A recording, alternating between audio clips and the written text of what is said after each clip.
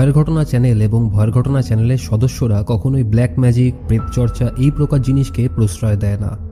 যে সকল ঘটনাগুলি আমরা সবার কাছে উপস্থাপনা করি, সেগুলিকে শুধুমাত্র বিনোদনের মতো করেই গ্রহণ করবেন। এবং যেই সকল ঘটনা আমরা আপনাদের শোনাই, সেগুলি সত্য, মিথ্যা যাচাই আমরা করি না। যে জিনিস আপনারা জানেন না বা বোঝেন না, সেই জিনিস নিয়ে পরীক্ষা না করাই উচিত। কারণ ভয়ের ঘটনার কোনো সদস্য এই অজানা জিনিস নিয়ে পরীক্ষা করাকে সমর্থন করে না। The members of the Bhoyar Ghotona channel never indulge in this kind of black magic ghost practices. The facts that we present to everyone will be taken as entertainment only, and we do not verify the truth of the facts that we hear from you. You should not experiment with things you don't know or don't understand because no member of the Bhoyar Ghotona community supports experimenting with these unknown things.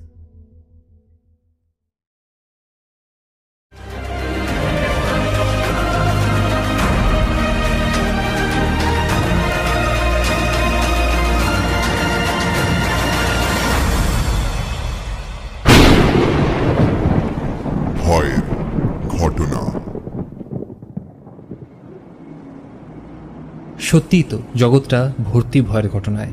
আর এই ভয়ের ঘটনাতে যদি আপনারা ভয়টাকে উপভোগ করতে চান, তাহলে আপনারা আজকে ঠিক সময়ে, ঠিক জায়গাতেই কিন্তু এসে পৌঁছেছেন। আমাদের ভয়ের ঘটনার ছাপ্পান্নতম পর্ব কিন্তু আজকে অন্যরকম হতে চলেছে। তার কারণ একটাই সেই ধরনের ঘটনা কিন্তু আপনারা শুনতে চলেছেন আজকে, যেই ঘটনা কিন্তু চট করে আমাদের মাথাতে আসবে না। আর তার থেকে বড় কথা যে আজকে কিন্তু আমাদের মধ্যে রিপন চক্রবর্তী রয়েছে এবং রিপনের ঘটনা দিয়েই আজকের প্রথম ঘটনা শুরু করব। কিন্তু ঘটনা শুরু করার আগে একটা কথা আমি আপনাদের সবাইকে বলতে চাই যে আপনারা যারা নতুন শুনছেন আমাদের পর্ব এসে এখানে এই ইউটিউব চ্যানেলে তো ডেফিনেটলি যদি আমাদের পর্ব ভালো লেগে থাকে অবশ্যই কিন্তু আমাদের চ্যানেলটিকে সাবস্ক্রাইব করবেন। আর যদি খুব ভালো লেগে থাকে, তাহলে অবশ্যই আপনাদের পরিবার মহল, আপনাদের বন্ধু মহলে শেয়ার করবেন। এটাই আপনাদেরকে বলার। যাই হোক, অনেক কথাই বললাম, এবার আমাদের ঘটনা এগোনো যাক। প্রথম যে ঘটনাটি রয়েছে, সেটি বাংলাদেশের মাধবপাশা গ্রাম থেকে রিপন চক্রবর্তী আমাদেরকে পাঠিয়েছেন ইমেল করে, এবং এই ঘটনাটি কিন্তু একটু অন্য ধরনের ঘটনা রয়েছে। আপনারা কেউ এখানে অন্যভাবে ঘটনাটি দেখবেন না বা শুনবেন না। ঘটনাটিকে ভয়ের ঘটনা হিসেবেই দেখবেন। আশা করছি তাহলে আমরা ভয়ের ঘটনা চ্যানেল আমরা ভয়ের ঘটনা চ্যানেলের পক্ষ থেকে বা যে সমস্ত শ্রোতা বন্ধু রয়েছে, সবাই একটা ভালো জায়গাতে থাকবে এবং সমস্যা হবে না। ঘটনাটি রিপন পাঠিয়েছে কারণ রিপনের রিপন নাম উল্লেখ করেনি। কারণ ঘটনাটি যার সাথে ঘটেছিল সেই পরিবার, রিপনের খুবই চেনা পরিচিত পরিবার এবং এক বছর আগে এই ঘটনাটি সেই পরিবারের একজনের সাথে ঘটে। একটু অন্য ধরনের রয়েছে কারণ এখানে আপনারা শুনলেই বুঝতে পারবেন ঘটনাটি। আমি এখানে কিছু আর বলছি না। চলুন তাহলে শুনে নেওয়া যাক রিপনের পাঠানো সেই ঘটনা এবং দেখা যাক যে ঘটনাটির মধ্যে কতটা ভয় জড়িয়ে আছে। দাদা, আশা করি আপনি ভালোই আছেন। আমি কাজের চাপে আপনাদের ঘটনা পাঠাতে ঠিক পারিনি। আজ একটু ফ্রি হলাম, তাই একটি ঘটনা পাঠাচ্ছি। ঘটনাটি ছোট, তবে বেশ অদ্ভুত টাইপের। ঘটনাটি এক মুসলিম ব্যক্তির সাথে ঘটেছিল এবং কিছু কারণবশত তার নাম আমি এখানে প্রকাশ করব না। আমাদের খুবই পরিচিত সে এবং বেশ উনি আমাদের সাথে স্নেহই করেন। আমি তাকে দাদু বলেই ডাকি। ঘটনাটি আজ থেকে এক বছর আগে ঘটে। আমি আপনাকে একদিন ভিডিও কলে দেখিয়েছিলাম কিছু ভৌতিক জায়গা। ঘটনাটি ওইখানেই ঘটে। তাদের বাড়ি একসময় হিন্দুদের ছিল। এক কথায়, আমাদেরই পূর্বপুরুষরাই থাকত। বাড়ির পশ্চিমে একটি পুকুর ছিল এবং উত্তর দিকেও ছিল একটি পুকুর। হয়তো সেটা আপনাকে দেখিয়েও ছিলাম। পুকুর দুটো পরিত্যক্ত। আর বাড়ির পূর্ব দিকে একটা জয় দুর্গা মন্দির ছিল। তবে সময়ের পরিবর্তনে সেই মন্দিরটি এখন আর নেই। সামান্য কিছু ধ্বংসাবশেষ রয়েছে শুধুমাত্র। ওখানে দেড়শো বছর ধরে কোনো পুজোই আর হয়নি। যাই হোক, সেই দাদুর জায়গা সেখানে হওয়ার কারণে তিনি সেই মন্দিরের ভগ্নাংশ সরিয়ে গাছ লাগাবেন ঠিক করলেন। কিন্তু কাউকে কাজ করার জন্য পাচ্ছেন না। আমার এক ছোট কাকা তিনি দিনমজুরের কাজ করতেন।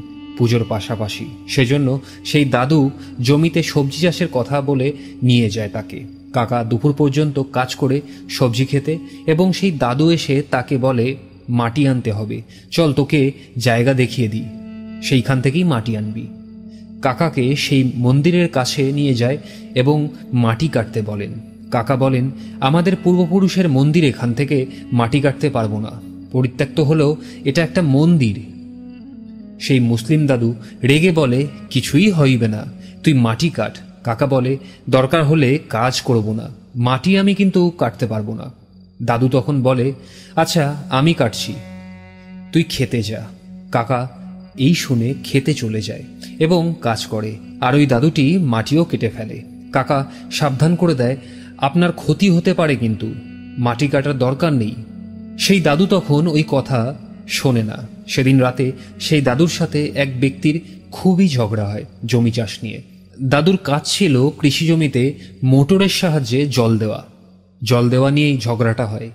তিনি প্রতিদিন রাতে জমিতে যেতেন এবং জল ঠিকমতো যাচ্ছে কিনা সেটা দেখতেন। মন্দিরের মাটি কাটার দুই মাস পরের ঘটনা হচ্ছে এইবার।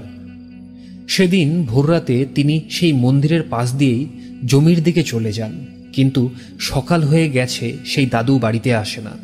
ঘরের লোকজন তখন সেই দাদুকে খুঁজতে বের হয়। সকাল দশটার সময় একজন মহিলা পরিত্যক্ত একটা বাগানের মধ্যে সেই দাদুকে পড়ে থাকতে দেখে চিৎকার দিয়ে ওঠে এবং সবাই সেখানে দৌড়ে যায়। সেখানে গিয়ে দেখে সেই দাদু পড়ে আছে এবং চোখ দুটো লাল এবং বড় বড় করে তাকিয়ে আছে, যেন কিছু একটা দেখছে। তার গায়ে হাত দিয়ে দেখা যায় শরীর ঠান্ডা এবং সে মারা গেছে। সেদিন রাতে কি এমন ঘটেছিল সেই একমাত্র বলতে পারত। মৃত্যুর আরও দুই মাস পর আরও একটা অবাক করার মতো ঘটনা ঘটে। রাতের বেলায় সেই দাদুকে নাকি সেই বাগানে হাঁটতে দেখা যায়। কখনো কখনো রাতে সেই জমিতে দেখা যায়, যারা যারা দেখেছে এই দাদুকে, আমি তাদেরকে জিজ্ঞেস করি, ঘটনাটা কি সত্য? একজন রিক্সা চালক প্রতিদিন রাত বারোটার দিকে বাড়ি যান শহর থেকে। আর যাবার সময় সেই দাদুর বাড়ির সামনে দিয়েই রাস্তা ধরেই যেতে হয়। তিনি দেখেন জমিতে কে যেন নিচু হয়ে জমির আল ঠিক করছেন। যখন তিনি টর্চ মেরে দেখতে যান, কি ওখানে, তখন আর কিছুই দেখতে পান না। তিনি সেদিন থেকে বেশি রাত করে বাড়ি যাননি আর। দাদা এখনও অনেকেই সেই দাদুকে কিন্তু দেখতে পান, আর তার মৃত্যু কীভাবে হলো সেটা একটা আজও রহস্যের মধ্যেই রয়ে গেল। যদিও তার পরিবারের এবং পরিচিত লোকজন বলছে হার্ট অ্যাটাকেই নাকি মারা গেছে। একজন সুস্থ মানুষ হঠাৎ করেই এভাবে হার্ট অ্যাটাক হয়? অনেকেই মেনে নিতে চায় না। দাদা, এই ছিল ঘটনা।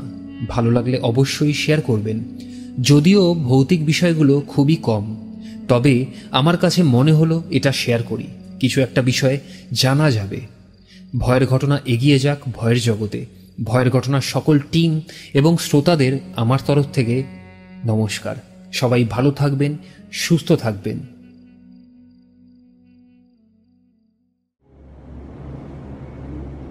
One second welcome back to the show ভয়ের ঘটনা। তারপর, কেমন লাগল আপনার এই ঘটনাটি?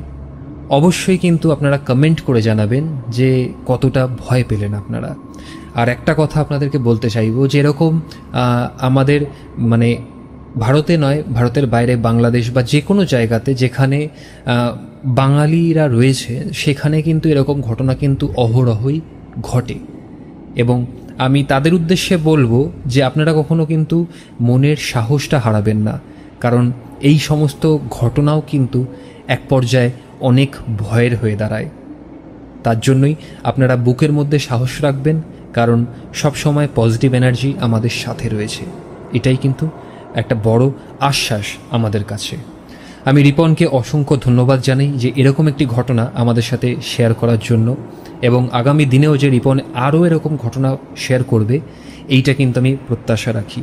আর আবারও ধন্যবাদ যে রিপন এতদিন পরে হলেও একটা সুন্দর ঘটনা আমাদেরকে তুমি পাঠালে। আর হ্যাঁ আমার মনে আছে যে তুমি যে ঘটনাটার মধ্যে উল্লেখ করেছ যে পুকুরের জায়গাটা বা তুমি যেই জায়গাগুলো দেখিয়েছিলে আমার এটা মনে আছে যে একদিনকে আমরা বিকেলবেলাতে যখন ভিডিও কলের মাধ্যমে কথাবার্তা বলছিলাম, সেই সময়তে আমি দেখেছিলাম। সো থ্যাংক ইউ রিপন, সেই ব্যাপারটাকে মনে করিয়ে দেওয়ার জন্য। যাই হোক আপনারা যারা শুনছেন ঘটনা, তারা অবশ্যই কিন্তু কমেন্ট করে জানাবেন যেরকম আমি বললাম যে কেমন লাগল ঘটনা। আর আপনাদের কাছেও যদি এরকম কোনো ভয়ের মুহূর্ত বা ভয়ের ঘটনা থেকে থাকে তাহলে কিন্তু লিখে অথবা রেকর্ড করে পাঠিয়ে দিন আমাদেরকে ইমেল করে। আমাদের ইমেল অ্যাড্রেসটা হচ্ছে ভয়ের ঘটনা three three three at Gmail dot com. অবশ্যই এটা মেনশন করে দেবেন যে আপনি কোথা থেকে লিখছেন এবং আপনার নামটি উল্লেখ করা যাবে কিনা। তো এইটা একটা কিন্তু আপনারা করে দেবেন অবশ্যই। আর যারা আমাদেরকে ইমেলে ঘটনা অডিও ক্লিপ হিসেবে যখন পাঠান, তো যারা পাঠিয়ে উঠতে পারেন না, যখন অনেক সময় যখন মেমোরি সাইজ বেশি হয়ে যায় তাদের জন্য বলছি যে আমাদের একটি ইউটিউব চ্যানেলের একটা নির্দিষ্ট হোয়াটসঅ্যাপ নাম্বার আছে। আপনারা কিন্তু চাইলে সেই হোয়াটসঅ্যাপ নাম্বারেও আমাদেরকে ঘটনা অডিও ক্লিপ হিসেবে পাঠাতে পারেন। আমাদের হোয়াটসঅ্যাপ নাম্বারটি হচ্ছে eight nine eight one eight seven three four three zero অবশ্যই আপনার নাম এবং ঠিকানাটি লিখে দেবেন, কিন্তু এটাও মেনশন করে দেবেন যে আমরা সেটা উল্লেখ করতে পারব কি না অনেক কথা আবারও বললাম। এবার আমাদের পরবর্তী ঘটনা এগোনো যাক। এবার যে ঘটনাটি আপনারা শুনতে পাবেন, এই ঘটনাটি আমাদেরকে একজন আমাদের শ্রোতাবন্ধু পাঠিয়েছেন। কিন্তু কিছু কারণবশত উনি ওনার নামটি আমাদের চ্যানেলে প্রকাশ করতে চান না, তাই আমিও এখানে বলব না। এবং ঘটনাটি ন্যারেশনে রূপান্তর করেছে আমাদেরই সদস্য রমা। তাই চলুন শুনে নেওয়া যাক রমার মুখেই যে ঘটনাটি কতটা ভয়ের এবং কতটা ভয় পাওয়াতে পারে।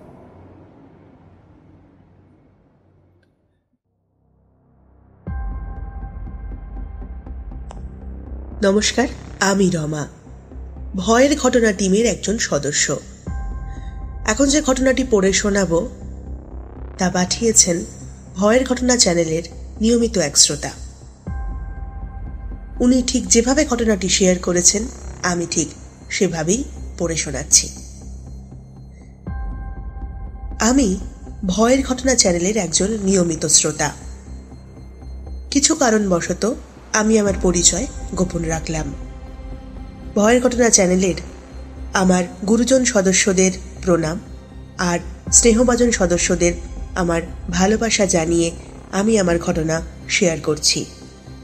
আর কথা না বাড়িয়ে ঘটনায় আসা যাক। প্রথমে একটা কথা বলে রাখি, আগে আমরা আমাদের পৈতৃক বাড়িতে থাকতাম। সেখানে অনেক আত্মীয় জ্ঞাতি প্রতিবেশীদের সাথে মিলেমিশেই থাকতাম আমরা। দু হাজার সতেরো সালে আমরা অন্য জায়গায় নতুন বাড়িতে শিফট হয়েছি। তো আগে যেখানে থাকতাম, ওখানে আমার সব থেকে কাছের বান্ধবী ছিল। ওই পাড়ারই একটা মেয়ে, যে সম্পর্কে আমার পিসি হয়। ও আর আমি প্রায় ছিলাম হরিহর আড্ডা। একসাথে বাড়িতে বসে আড্ডা দেওয়া, একসাথে স্কুল, টিউশন যাওয়া, ঘুরতে যাওয়া সব কিছুই একসাথে। সালটা ছিল দু হাজার পনেরো। তো সেই সময় আমি ক্লাস সেভেনে পড়তাম আর ও ক্লাস টুয়েলভে পড়তো।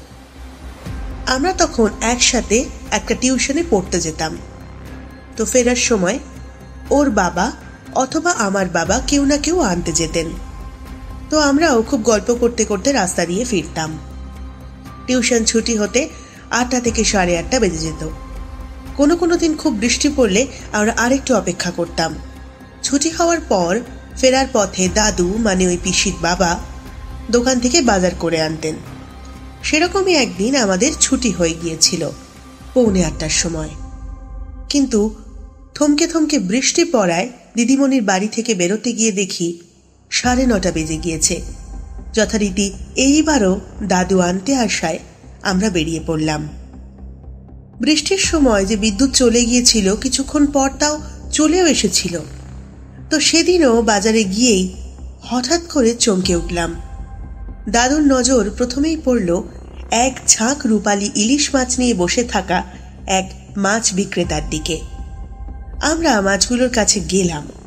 দাদু ইলিশ মাছগুলোকে দেখে একবার মাছগুলোর গায়ে হাত বোলাতে লাগলেন। সত্যি মাছগুলোর গন্ধে যেন তখন পুরো বাজার ম ম করছে।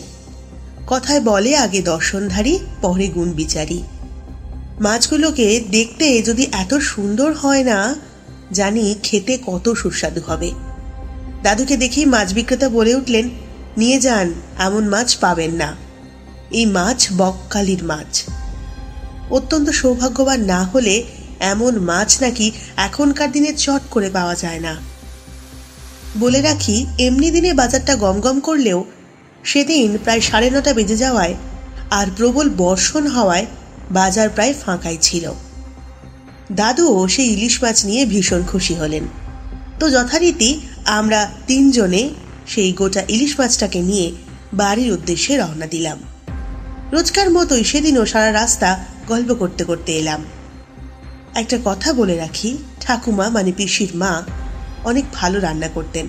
তাই কিছু বানালে মাঝে মধ্যেই আমার নিমন্ত্রণ হতো ওদের বাড়িতে। সেদিনও যথারীতি আমাকে ওরা খেয়ে যেতে বলেন। এত রাতে মা চিন্তা করবে ভেবে আমি রাজি হইনি। পিসি অবশ্য মাকে ফোন করে জানিয়ে দেয় যে আজ রাতে আমি ওদের বাড়িতে খাব। রাত তখন সাড়ে দশটা বেজে গেছে। খিচুড়ি আর ইলিশ মাছ ভাজা হবে। ওদের বাড়িরই কলতলায় মাছটি ঠাকুমা কেটে ধুয়ে রেখে বাড়িতে আসে রান্নার জন্য। আমরা তিনজন মানে আমি, পিসি আর দাদু, একটা ঘরে বসে গল্প করছি। তার আগে বাড়িটির বর্ণনা দিয়ে রাখি। ওদের দুটো বেডরুম, একটা লম্বা দালান, তারপর দালানের একদম ওই পাশেই রান্নাঘর, তারপরেই বাথরুম। রান্নাঘর লাগোয়া ছিল এক জঙ্গল আর তারপরেই মাঠ। ওদের বাড়ির পিছন দিয়ে আগে মাঠে যাওয়া যেত। কিন্তু বর্তমানে ওদের বাড়ির পিছন দিয়ে তেমন একটা লোক যাতায়াত করে না। তাই জায়গাটা খানিকটা জঙ্গলে পরিণত হয়েছে। এবার আসল ঘটনায় আসা যাক। ঠাকুমা তখন রান্নাঘরে তেল গরম করতে দিয়েছে মাছ ভাজার জন্য। এমন সময় কেউ যেন পিছন থেকে বলে উঠল, আমায় একটু মাছ দে। ঠাকুমা এটি মনের ভুল ভেবে আবার রান্নার দিকে মন দিল। দ্বিতীয়বারও যেন কেউ বলে উঠল, আমায় একটু মাছ দে। এরপরও ঠাকুমা একটু ইতস্তত করে আবার কড়ায় ফুটন্ত গরম তেলের দিকে নজর দিল। এইভাবে বেশ কয়েকবার যেন কেউ বলে উঠল, আমায় একটু মাছ দে। এমন সময় ঠাকুমা কড়ায় মাছগুলো দিতে যাবে, কেউ যেন ঠাকুমার হাতটা শক্ত করে চেপে ধরল। ঠাকুমার এমনই অনুভূতি হলো। এবার ঠাকুমা যা দেখলেন, তা দেখার জন্য তিনি কোনোভাবেই প্রস্তুত ছিলেন না। রান্নাঘরে জানলার দিকেই ছিল ওভেনটা। কেউ যেন বাটি থেকে কয়েক টুকরো ইলিশ মাছ নিয়ে নিচ্ছে। ঠাকুমা জানলার দিকে তাকিয়ে দেখলেন, ঠিক মানুষ, অথচ মানুষ না একটা প্রাণী। কেমন যেন গিরগিটির মতো হামাগুড়ি দিয়ে চলে যাচ্ছে। ওই অবস্থাতেই ঠাকুমা ওখানে অজ্ঞান হয়ে পড়ে যান। তখনও আমরা পাশের ঘরে গল্প করছি। আমরা কিছু বুঝতেই পারিনি। পরে কড়াইয়ে তেল পোড়ার গন্ধ পেয়ে পিসি রান্নাঘরের দিকে যায়। সেখানেই পিসির চিৎকারে আমরা ছুটে যাই আর ঠাকুমাকে সেখানে অজ্ঞান অবস্থায় রান্নাঘরের মেঝেতে লুটিয়ে থাকতে দেখি। কিছুক্ষণ পর ঠাকুমার জ্ঞান ফিরলে তিনি আমাদের সব ঘটনাটা জানান। শুনে আমরা খুব ভয় পেয়ে যাই। এরপর বলা বাহুল্য, দাদু, কিছু একটা আন্দাজ করতে পেরে ওই জঙ্গলে কিছু টুকরো মাছ একটা নির্দিষ্ট জায়গায় রেখে দিয়ে আসেন। তখন রাত এগারোটা বাজে। দাদু বলেন যে, ঠিক পাঁচ মিনিট পর ওখানে গিয়ে দেখব যে মাছগুলো আছে কি না ঠিক দশ মিনিট পর ওই জায়গাতে গিয়ে দেখি মাছগুলো আর নেই।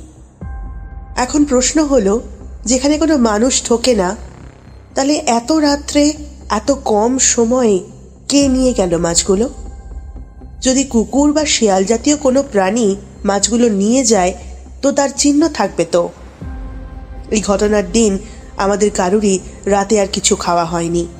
ঘটনার পর দু তিন দিন ধরে ঠাকুমার ধুম জ্বর ছিল। এই ঘটনা আমরা চারজন ছাড়া আর কেউই বিশেষ জানে না। এই ছিল ঘটনা।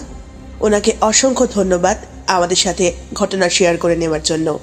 আশা করি ভবিষ্যতেও উনি ঘটনা শেয়ার করে আমাদের পাশে থাকবেন। ধন্যবাদ।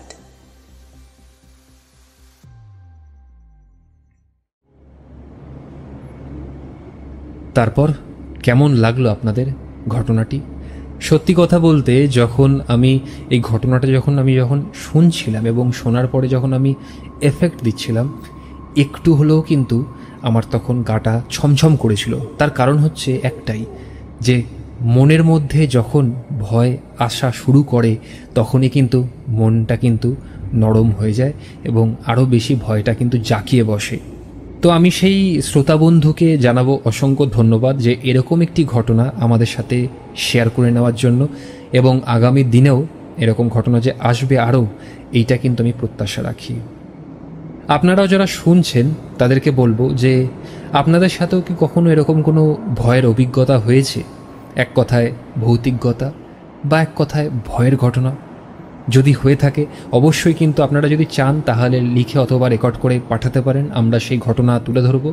আর যদি আপনারা, আপনাদের মধ্যে কেউ যদি চান যে আপনারা শুধু কমেন্টের মাধ্যমে জানাবেন যে হ্যাঁ এরকম একটা অভিজ্ঞতা হয়েছিল, তাহলে সেক্ষেত্রেও আমাদের কমেন্ট করে কিন্তু জানাতে পারেন। আর সত্যি কথা বলতে যে আপনারা যে এতটা আমাদের সাথে রয়েছেন এবং শুরু থেকে শেষ অবধি থাকছেন, এটা কিন্তু একটা বড় জিনিস। প্রত্যেকটা ইউটিউব প্রিমিয়ার যখন হয়, আমি তো সেখানে লাইভ চ্যাটে থাকি প্রেজেন্ট, সত্যি আমি মানে গর্ব করতে পারি যে আমার সাথে আমার এই চ্যানেলের পরিবারের মধ্যে কিন্তু আরও অনেক সদস্য রয়েছে। এটা কিন্তু একটা বড় পাওনা আপনারা রয়েছেন, তার জন্য আমি থ্যাঙ্কফুল যে আপনারা সাথে রয়েছেন। এইভাবেই থাকবেন, এইভাবেই পাশে একসাথে চলবেন, এটাই আমি একটা চাই। যাই হোক এবার আমাদের পরবর্তী ঘটনাতে এগোনো যাক।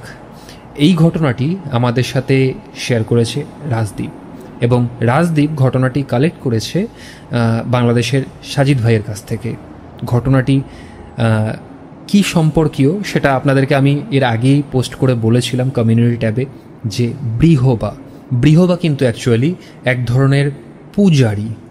কে এই বৃহবা এবং এই বৃহবা শক্তি কী রকম সেইটা কিন্তু আমি এখন এখানে বলব না, কারণ তার জন্য ঘটনাটা রয়েছে। আপনাদেরকে বলব যে ঘটনাটি আপনারা শুনুন, কারণ এই ঘটনাটির মধ্যে কিন্তু বেশ কিছু চমক রয়েছে, বেশ কিছু মুহূর্ত রয়েছে, যেই জায়গাগুলো কিন্তু মানে একটা সুস্থ মাথায় নিতে পারবে না।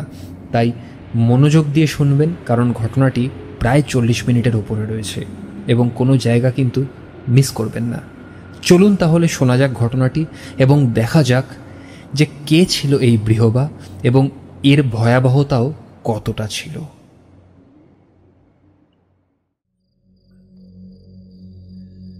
সালটা দু হাজার জানুয়ারি মাসের শুরুর দিকে ঘটনা। বেশ কয়েকদিন ধরেই সাজিদ ভাইয়ের নম্বরে একটা অচেনা নম্বর থেকে ফোন আসছিল। সাজিদ ভাই একটু সমস্যায় ছিল, তাই তিনি তার কোনো রকমভাবেই রেসপন্স করে উঠতে পারেননি। সেদিন বিকেল প্রায় চারটে নাগাদ আবারও সেই নম্বর থেকে ফোন আসে। সাজিদ ভাই ফোন রিসিভ করে এবং ফোনের উপাস থেকে একজন বয়স্ক মহিলার গলা শুনতে পাওয়া যায়। উনি বলেন যে সাজিদ ভাইয়ের এক পরিচিত লোক তার সমস্যা সমাধান করেছিলেন এবং ওনার কাছ থেকেই সাজিদ ভাইয়ের নম্বর তিনি পেয়েছেন। মূলত সমস্যা ওনার ছেলে রফিকের। তাই রফিকের মা চান সাজিদ ভাই তার ছেলের সমস্যাটার কোনো একটা ব্যবস্থা যাতে করে দেন। সাজিদ ভাইকে রফিকের মা রফিকদের বাড়িতে আসতে বলেন, কিন্তু সাজিদ ভাইয়ের হাতে তখন মূলত দুটো অসম্পূর্ণ কাজ থাকায় সাজিদ ভাই বলেন, আমার দুই চার দিন দেরি হবে। ভালো হবে আপনি আমার সাথে অন্য কোথাও যদি দেখা করতে পারেন। রফিকের মা তখন বলেন যে আচ্ছা বাবা, আমি আসব। এই বলে তারা সেদিন বিকালে তাদের দুইজনের ঠিক করা একটা জায়গায় তারা দেখা করেন। রফিকের মা সাজিদ ভাইকে বলেন, তার ছেলের অবস্থা খুবই খারাপ এবং যাতে সাজিদ ভাই কিছু একটা করে, এইটার একটা কাকুতি মিনতি করে একটা অনুরোধ করে। না হলে আমার ছেলে আর বাঁচবে না। রফিক ছাড়া তার এই দুনিয়ায় আর কেউ নেই। রফিকের বাবা মারা যায় রোড অ্যাক্সিডেন্টে। কিন্তু রফিকের মা সাজিদ ভাইকে বলেন, কিন্তু সেটা স্বাভাবিক কোনো অ্যাক্সিডেন্ট ছিল না। এখন ছেলের এই অবস্থা। সাজিদ ভাই রফিকের মাকে জিজ্ঞাসা করে আচ্ছা আন্টি, সমস্যাটা একটু জানান তো। রফিকের মা বলেন, রফিক তার কলেজের বন্ধুদের সাথে ঘুরতে যায় এবং ঘুরতে যায় সিলেটে। সেখান থেকে আসার পর সমস্যা শুরু হয় এবং একদিন রাতে লোডশেডিং হওয়ায় রফিক জানলায় দাঁড়ে, দাঁড়িয়ে স্মোক করছিল। তখন রফিক লক্ষ্য করে একটা কালো অবয়ব তার শুধু মাত্র চোখ দুটো জ্বলছিল। এই দেখে রফিকের অন্তর প্রায় কেঁপে ওঠে আর সে জানলা বন্ধ করে শুয়ে পড়ে। তারপর থেকেই রফিকের কেমন যেন একটা অনুভূতি হওয়া শুরু হয়। মনে হয় যেন তার সাথে সবসময় কেউ একটা যেন আছে। বেশ কিছুদিন পর রফিক রাতে ঘুমিয়ে আছে। তখন হঠাৎ তার ঘুম ভাঙে, তার নিজেকে আবিষ্কার করে একটা জঙ্গলের মধ্যে। আর সেখানে প্রায় পাঁচ অঘরী সাধু একটা তারার মতো অক্টাগন এঁকে সেটাকে গোল করে ঘিরে বসে একটা যজ্ঞের মতো কিছু করছে। তারপর তিনজন মিলে একটা চিতা সাজালো এবং তারপরে তাদের মধ্যে তিনজন মিলে একটা লাশ নিয়ে আসে আর সেটা সাদা কাপড়ে মোড়া ছিল। সেই লাশটার গায়ে কিছু উপকরণ মাখিয়ে সেটা চিতার উপর রাখে। একটা মরার মাথার খুলির মধ্যে মধ্যে করে তাজা রক্ত সেই লাশের গায়ে ঢালে আর তারপর একটা মশাল জাতীয় কিছু একটা নিয়ে চিতা জ্বালিয়ে দেয়। এই সব ঘটনা রফিক এক প্রকার মন্ত্রমুগ্ধের মতো দেখছিল, কিন্তু সেই অঘরী সাধুগুলো যেন তাকে দেখতেই পাচ্ছিল না। লাশের চিতা জ্বালানোর পর তারা উল্লাস করে নানা রকম অঙ্গভঙ্গিতে নাচতে থাকে, আর তার কিছুক্ষণ পর রফিক দেখে যেন ওই অঘরী সাধুগুলোর অনেকটা কাছাকাছি চলে এসছে। এবার ওই অঘরী সাধুরা জ্বলন্ত চিতার থেকে সেই লাশটা নামিয়ে সেই লাশের গায়ের থেকে মাংস ছিঁড়ে খেতে থাকে আর লাশটা উঠে বসে করুণ দৃষ্টিতে রফিকের দিকে তাকিয়ে সাহায্য চাইছে। রফিক তখন ভালো করে লক্ষ্য করে এবং দেখে ওটা তার মৃত বাবা। রফিক এই দৃশ্য আর সহ্য না করতে পেরে এক চিৎকার দেয় আর রফিকের ঘুম ভেঙে যায়। রফিক এতক্ষণ বুঝতে পারে যে সে স্বপ্ন দেখছিল। রফিক সে রাতে আর ঘুমোয়নি। সারাটা রাত পড়ার টেবিলে জেগে কাটিয়ে দেয়। এরপর থেকে শুরু হয় তার জীবনের কালো অন্ধকারের দিন। প্রত্যেক রাত ছিল তার কাছে এক বিভীষিকাময়, বিস্ময়কর রহস্য ও ভয়ের দুনিয়া। সেদিন রফিকের বন্ধুর জন্মদিন উপলক্ষে রফিক সন্ধ্যায় তার বন্ধুর বাড়িতে যায়। কিন্তু রফিক যেতে চায়নি, কিন্তু তার বন্ধু অনেক জোর করায় রফিক যায়। সেদিন বার্থডে পার্টি শেষ হতে দেরি হয়ে যায় প্রায়। আর রাতে ডিনার শেষে প্রায় তখন এগারোটা পঁয়তাল্লিশের মতো বেজে যায়। রফিকের কাছে কোনো সাইকেল বা মোটর সাইকেল না থাকায় সে হেঁটে রওনা দেয় বাড়ির উদ্দেশ্যে। আকাশে চাঁদের আলোয় রফিক দেখতে পায়, তার থেকে প্রায় সাত আট হাত দূরে সেই কালো অবয়বটা দাঁড়িয়ে আছে। রফিক থমকে দাঁড়িয়ে যায় আর সে ফিল করছে তার নড়ার বা দৌড়ানোর শক্তি কেউ যেন কেড়ে নিয়েছে। আর সেই কালো অবয়বটা এক সেকেন্ডের ব্যবধানে রফিকের সামনে চলে আসে আর রফিকের চারপাশে ঘুরতে থাকে। রফিককে সেই কালো অবয়বটা তখন বলছে, রফিক, আমাকে ভুলে গেলে? আমি বৃহবা। এই বলে সেই বৃহবা হাসতে থাকে আর রফিক নিজেকে আবিষ্কার করে অন্য এক জগতে, যেখানে তাকে ঘিরে প্রায় শত শত কালো অবয়ব ভিড় করে রেখেছে। ঠিক তখনই সেই বৃহবা একটা কালো মানুষের চেহারা ধারণ করে, যার ছিল তিনটে মাথা, কিন্তু মাথাগুলোর দুটো মাথা ছিল শুয়োরের আর একটা মাথা ছিল রাক্ষসের। দুই দিকের দুটো মাথা শুয়োরের আর মাঝখানের মাথা রাক্ষসের, আর কোমরের অংশটা সাপের। বৃহবার আকৃতি ছিল প্রায় পনেরো থেকে কুড়ি ফুটের মতো। সেই বৃহবা একটা তুড়ি মেরে একটা ইশারা করল, তারপর একটা কালো অবয়ব একটা পাত্রে তাজা রক্ত নিয়ে রফিকের দিকে বাড়িয়ে দিয়ে খেয়ে নিতে বলে। রফিক সেটা খেতে অস্বীকার করায় বৃহবা এক লাফে রফিকের মুখের সামনে এসে গড়গড় করে হুঙ্কার দিতে থাকে।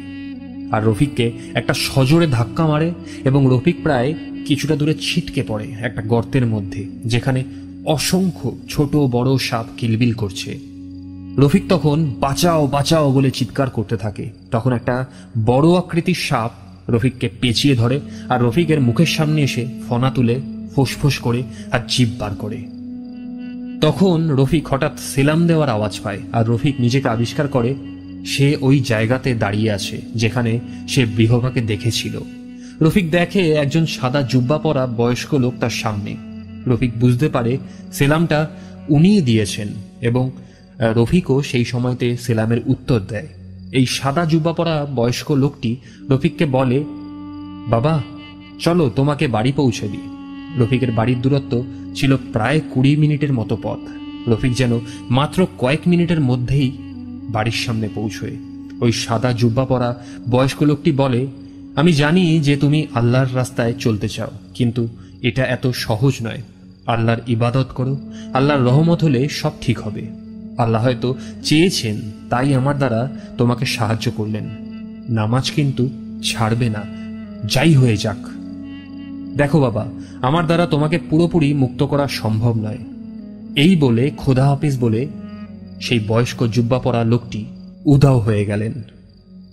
এই রকম ঘটনা ঘটেছে রফিকের সাথে, না পারছে কিছু করতে, না পারছে কিছু বলতে।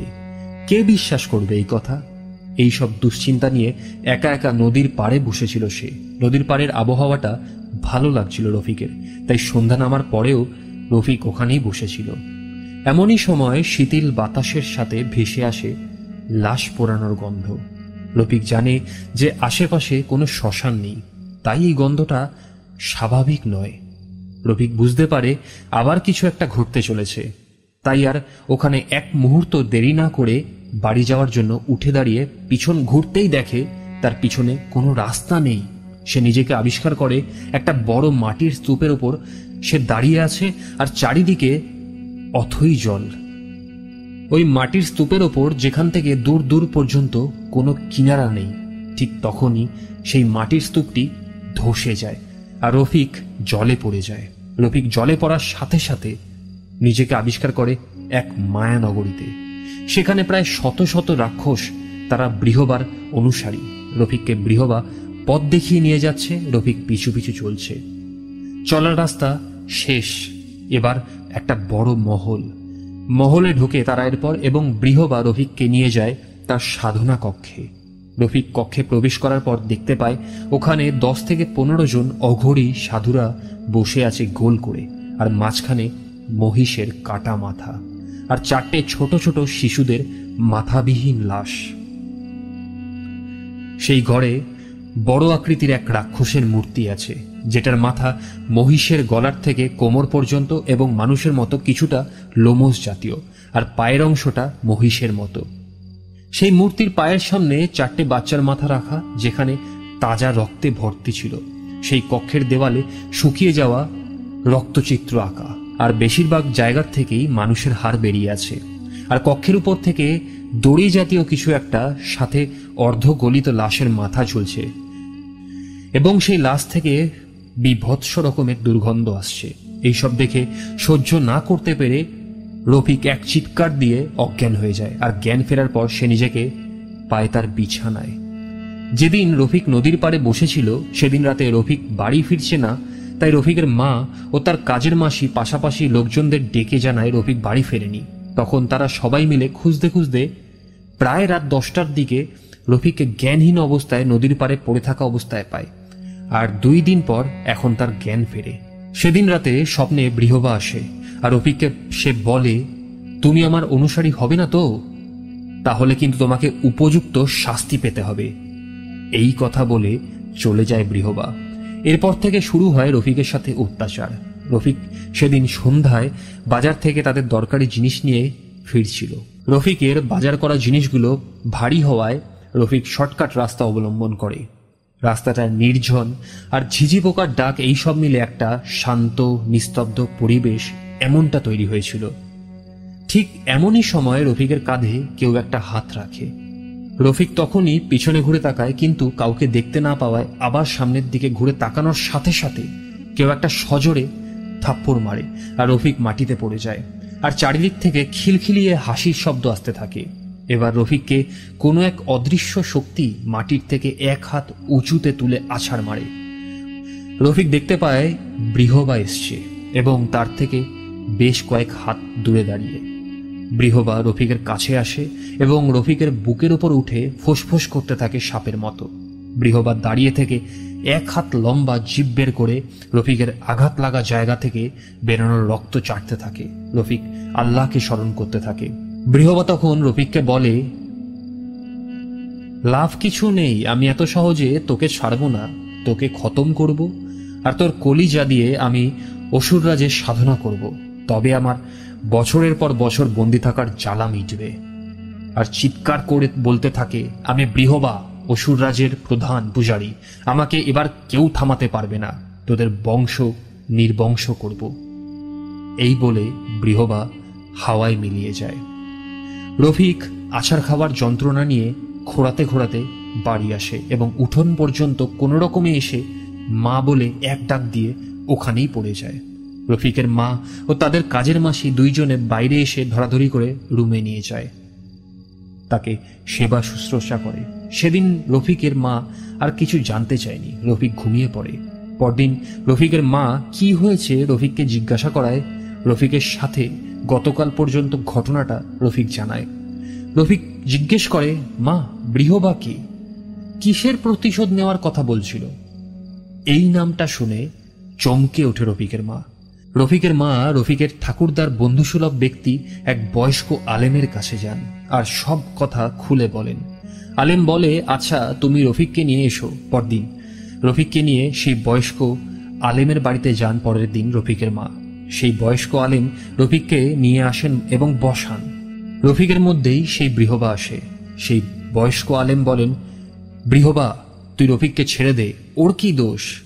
বৃহবা তখন বলে, হারামির বাচ্চা তুই ওর হয়ে সালিশ করতে এসেছিস? তখন আলেম বলে, বৃহবা, তুই এখন মুক্ত। যা ওকে তুই ছেড়ে দিয়ে চলে যা। বৃহবা বলে, কখনোই নয়। তুই ওকে সাহায্য করতে চাইলে তোরও কিন্তু বংশ নির্বংশ করব। এই বলে বৃহবা চলে যায়। সেই বয়স্ক আলেম রফিকদের বলে, আমার বয়স হয়েছে, তাই আর আগের মতো শক্তি বা সামর্থ্য নেই। আর থাকলেও হয়তো পারতাম না। কারণ এই বৃহবা সাধারণ কোনো জিন নয়। এই বৃহবা হলো অসুররাজের প্রধান পূজারী। এবার আগের থেকেও আরও বেশি শক্তিশালী হয়ে ফিরেছে। আমার দ্বারা বা যে কোনো জিন পারবে না তাকে বন্দি করতে। রফিক জিজ্ঞাসা করে, কিসের প্রতিশোধের কথা বলছিল এই বৃহবা? সেই বয়স্ক আলেম বলেন, কেন বাবা, তোমার কিছু কি জানা নেই নাকি? রফিক তখন বলে, না তো। তখন রফিকের মা বলেন, চাচা, আমি সবসময় চাইতাম ওই শয়তানের নজর যেন আমার রফিকের ওপর না পড়ে, তাই ওকে কিছু জানাইনি। তখন সেই বয়স্ক আলেম বলেন, শোনো তাহলে। এই মৃত্যুযজ্ঞ আজকের নয়, এই মৃত্যুযজ্ঞ শুরু হয় বহু বছর আগে। তখন সেই বয়স্ক আলেমের বয়স তেইশ থেকে চব্বিশ বছর। আলেমের সাথে রফিকের দাদুর আলাপ হয় এক ওয়াজ মহফিলে। তখন সেই এলাকার ইমামমতি করতেন রফিকের ঠাকুরদা। সুঠাম দেহের ও সাহসী ব্যক্তিত্বের অধিকারী ছিলেন তিনি। তাদের মধ্যে সক্ষতা বেড়েছে চিঠি আদান প্রদানের মাধ্যমে এবং তাদের কুশল বিনিময়ও হতে থাকে। এমন সময় সেই বয়স্ক আলেমের হাতে একটা কাজ আসে, কিন্তু সেটা ছিল ভারত ও বাংলাদেশ সীমান্তবর্তী এলাকায়। এই জায়গাটা সিলেটের কোনো একটি জায়গা। সেই বয়স্ক আলেম বেশ কিছুদিন যাবৎ চেষ্টা করছে, কিন্তু সফল হতে পারছে না। তাই সেই বয়স্ক আলেম রফিকের ঠাকুরদাকে সিলেটের ওই জায়গা পর্যন্ত পৌঁছানোর ঠিকানা ও কিছু টাকা পাঠায় যাতায়াত বাবদ, যেটা খরচা হবে। সেই বয়স্ক আলেম রফিকের ঠাকুরদাকে লিখেছিলেন, এই কাজে জীবন ঝুঁকি আছে, তাই আটঘাট বেঁধেই নামতে হবে। রফিকের ঠাকুরদা চিঠির উত্তর দিয়ে জানান, উনি যাবেন ওখানে। রফিকের ঠাকুরদা রওনা দেন সকালের নাস্তা করে, আর তার সিলেট পৌঁছতে রাত প্রায় সাড়ে আটটার মতো বেজে যায়। সেই গ্রামে পৌঁছে দেখেন বাজারে একটাই মাত্র চায়ের টং। দোকানটাও সেটা বন্ধ করছে। রফিকের ঠাকুরদা তাড়াতাড়ি ওনার কাছে গিয়ে চিঠিতে পাঠানো ঠিকানা দেখায় সেই চায়ের দোকানদারকে। আর সেই দোকানদার তাকে বলে দেয়, কীভাবে যেতে হবে? আর এও বলেন যে সেই লোকের বাড়ি প্রায় চার কিলোমিটার দূরে। রফিকের ঠাকুরদা হাঁটা শুরু করেন। মাথার উপর পূর্ণিমার চাঁদ উঠেছে। তার আলোয় পথ চলছে। এমন সময় ঠাকুরদা অনুভব করলেন তাকে কেউ যেন একটা ফলো করছে। ঠাকুরদা সেই সময় অস্বাভাবিক কিছুর একটা অস্তিত্ব টের পেয়ে যান ও মন্ত্র পড়ে দেহ বন্ধ করে ফেলেন। তখন পিছন থেকে কর্কশ একটা ভারী গলায় কেউ বলে, লাভ নেই, যে কাজে এসেছিস সফল হবে না। ঠাকুরদা পিছনে না তাকিয়েই সামনের দিকে হেঁটে চলেছেন আর কথা বলছেন। পিছন থেকে আসা শব্দের উৎসের সাথে। ঠাকুরদা বলেন, তুই হয়তো জানিস না, আল্লাহর ক্ষমতা। তোর মতো নরকের কীটদের সায়স্তা করার জন্য আল্লাহ আমাদের মতো মানব জাতিকে এই কালাম দিয়েছেন। ঠাকুরদা বলেন, তুই চিন্তা করিস না, তোকে জাহান নামের খাঁচায় আমি আল্লাহর কালাম দিয়ে বন্দি করব। না হলে আল্লাহর কালামে তোকে পুড়িয়ে মারব। এইসব তর্ক বিতর্ক চলতে থাকে। ঠিক তখনই রফিকের ঠাকুরদা দেখেন, সামনে থেকে একটা গরুর গাড়ি আসছে। তখন ওই অদৃশ্য শক্তিটি বলে তোর মিত্র আসছে তোকে নিতে। চিন্তা করিস না, আমি তোদের দুজনকেই অসুরাজের নামেই জবাই করব। এই বলে এক অট্টহাসি দিয়ে চলে যায়। সেই আলেম রফিকের ঠাকুরদাকে গরুর গাড়িতে উঠিয়ে বাসভবনে চলে আসেন। রাতের খাওয়ার শেষ করে তারা দুজনেই আল্লাহর ইবাদত করেন, কিছু আমল করেন আর তাহাজুদের নামাজ আদায় করে শুয়ে পড়েন। পরদিন সেই আলেম রফিকের ঠাকুরদার সাথে মূলত ভিকটিমের সমস্যা নিয়ে কথা বলছিলেন। রফিকের ঠাকুরদাকে সেই আলেম ঘটনার প্রথম থেকে বলেন। সেই আলেম বলেন, এই বাড়ির সবাই নামাজি মানুষ, কিন্তু এই বাড়ির ছোট ছেলে তার নাম মুশফিক। সে ছিল অহংকারী, বদমেজাজি ও দুশ্চরিত্র লম্পট। সে গ্রামের বকাটা ছেলেদের সাথে নিয়ে ঘুরত। রাস্তা দিয়ে মেয়ে মানুষ গেলে হাত ধরে টানাটানি করে, নোংরা প্রস্তাব দেওয়ার নেশা করা, আরও নানা রকম খারাপ কাজ করা, এই সমস্তই চলতো। প্রায় প্রতিনিয়ত তার নামে নালিশ লেগেই থাকতো। অনেকবার চাবুক পেটা করেছে মুশফিকের বাবা সবার সামনে। কিন্তু ফল কিছু আর হয়নি। যতবার সে যার কারণে মার খেয়েছে, সে ততবার রাতে দলবল নিয়ে গিয়ে তার বাড়ি ভাঙচুর করেছে। আর ঘরে মহিলা থাকলে তাদের ওপর নির্যাতন চালিয়েছে। তাই পরে আর গ্রামের লোক কিছু বলতো না। তখন রফিকের ঠাকুরদা বলেন, ওকে তো মাদ্রাসায় দিতে পারতো। সেই আলেম তখন বলে, সেটাও কিন্তু বাকি রাখেনি। একবার ওই ছেলেকে মাদ্রাসায় দিয়েছিলেন। সেখানকার বড় হুজুরকে ইট মেরে ফাটিয়ে দেওয়ায় তাকে মাদ্রাসা থেকে বের করে দেওয়া হয়। আর সেই হুজুরের চিকিৎসার খরচ ও ক্ষতিপূরণ দিতে হয় ওর বাবাকে। একদিন এলাকার এক বৃদ্ধ ভদ্রলোক বাজার করে বাড়ি ফিরছিলেন। ঠিক সেই সময় সেই বৃদ্ধর সাথে মুশফিক ও তার দলবল মিলে ফাজলামি করছিল। আর সেই বৃদ্ধের অতিরিক্ত রাগ হওয়ায় সেই বৃদ্ধ মুশফিককে একটা থাপ্পড় মেরে বসে। তখন মুশফিক সেই বৃদ্ধকে সজোরে বুকে ঘুষি মারে আর সেই আঘাত সহ্য করতে না পেরে তৎক্ষণাৎ সেখানেই সেই বৃদ্ধ মারা যায় আর মুশফিক ওখান থেকে পালিয়ে বাড়ি এসে গুদাম ঘরে লুকিয়ে পড়ে। এবার গ্রামের সব লোকজন মিলে মুশফিকের বাড়ি চড়াও হয় আর মুশফিককে মেরে ফেলবে এই হুমকি দিতে থাকে। মুশফিকের বাবা অবস্থা বেগতিক দেখে গ্রামের লোকেদের শান্ত করে। এই বলে যে মুশফিককে তার অকাজের উচিত শাস্তি দেবে। মুশফিককে গুদাম থেকে আনা হয় আর সবার সামনে চাবুক পেটা করা হয়। তাকে গ্রাম থেকে বিতাড়িত না করলে মুশফিকের বাবার কাছে কোনো রকমই কোনো উপায় ছিল না মুশফিককে বাঁচানোর। তখন মুশফিক চলে যাওয়ার সময় বলে, আমি আবার ফিরব। মুশফিক চলে যাওয়ার আট মাস পর মুশফিকের বাবার সাথে ঘটে এক অস্বাভাবিক ঘটনা। একদিন রাতে মুশফিকের বাবা রাত্রে টয়লেট যাওয়ার জন্য উঠলে দেখে, উঠোনের মাঝখান বরাবর মুশফিক দাঁড়িয়ে আছে আর মুশফিকের মুখে একটা মুচকি হাসি। মুশফিকের বাবা মুশফিককে দেখে হঠাৎ চমকে ওঠে, কারণ মুশফিকের পিছনে চারটি বিশাল দেহের দানবাকৃতির লোক দাঁড়িয়ে আছে। মুশফিক এক লাফে এসে তার বাবার গলা চেপে ধরে এবং তার বাবার মুখের মধ্যে কিছু একটা জল জাতীয় জিনিস ঢুকিয়ে দেয় আর উধাও হয়ে যায়। মুশফিকের বাবা ওখানেই অচেতন হয়ে পড়ে যান। সকালে তাদের বাড়ির কাজের লোকেরা তাকে উদ্ধার করে নিয়ে আসে এবং কবিরাজ ডাকা হলে তাকে ঔষধ দিয়ে চলে যায়। মুশফিকের বাবা দু সপ্তাহের মধ্যেই তার শরীর শুকিয়ে কাঠ হয়ে যায় ও তিনি বুঝতে পারেন যে তিনি আর বাঁচবেন না। কুড়ি দিনের মাথায় মুশফিকের বাবা তার ছেলের বউ, জামাই, মেয়ে এনাদেরকে চিঠি পাঠায় ও সেদিন রাতে সব ঘটনা বলেন। আর তিনি এও বলেন, মুশফিক কিছু একটা খারাপ কিছুর সাথে জড়িয়ে ফেলেছে নিজেকে। তোমরা সাবধানে থাকো। পরদিন একুশ দিনের মাথায় মুশফিকের বাবা মৃত্যুর কোলে ঢলে পড়ে। তারা এলাকার ইমাম সাহেবকে ডেকে এই সব ঘটনা জানায়। এলাকার ইমাম সাহেব তাদের তাবিজ দিয়ে সাবধানে থাকতে বলেন আর বলেন তিনি তার ছাত্রজিনদের কাছ থেকে খবর নিয়ে জানাবেন। দুই দিন পর এলাকার ইমাম আসেন মুশফিকদের বাড়িতে আর জানায়, দেখুন, আপনারা যে সমস্যার মধ্যে পড়েছেন, এর থেকে আমার দ্বারা আপনাদের উদ্ধার করা সম্ভব হবে না। তাই আপনারা অন্য কোনো জ্ঞানী ব্যক্তিকে খুঁজুন। সেই এলাকার ইমাম জানায়, মুশফিক এই গ্রাম থেকে বিতাড়িত হওয়ার পর রাস্তার ভবঘুরে হয়ে ঘুরতে থাকে। তখন তার এক ভারতীয় হিন্দুতান্ত্রিকের সাথে আলাপ হয়। মুশফিক তান্ত্রিকের সাথে ভারতের মেঘালয় রাজ্যে কোনো এক জঙ্গলে যায়। সেই জঙ্গল ছিল তন্ত্রবিদ্যা শেখার উপযুক্ত জায়গা। সেই জঙ্গলে গিয়ে শুরু করে তন্ত্র সাধনা। মুশফিক বেশ অল্প কয়েকদিনের মধ্যেই বেশ পারদর্শী হয়ে ওঠে। মুশফিকের ক্ষমতা লাভের এমন মরণ নেশায় মত্ত হয়ে ওঠে যে পুরোপুরি সে জ্ঞানহীন হয়ে ওঠে। তার নিজের বাড়িতে বৃহবাকে বশীকরণ করে চালান করার চেষ্টা করতে থাকে প্রায় এক সপ্তাহ চেষ্টা করার পর একদিন সে বৃহবাকে হাজির করে ফেলে।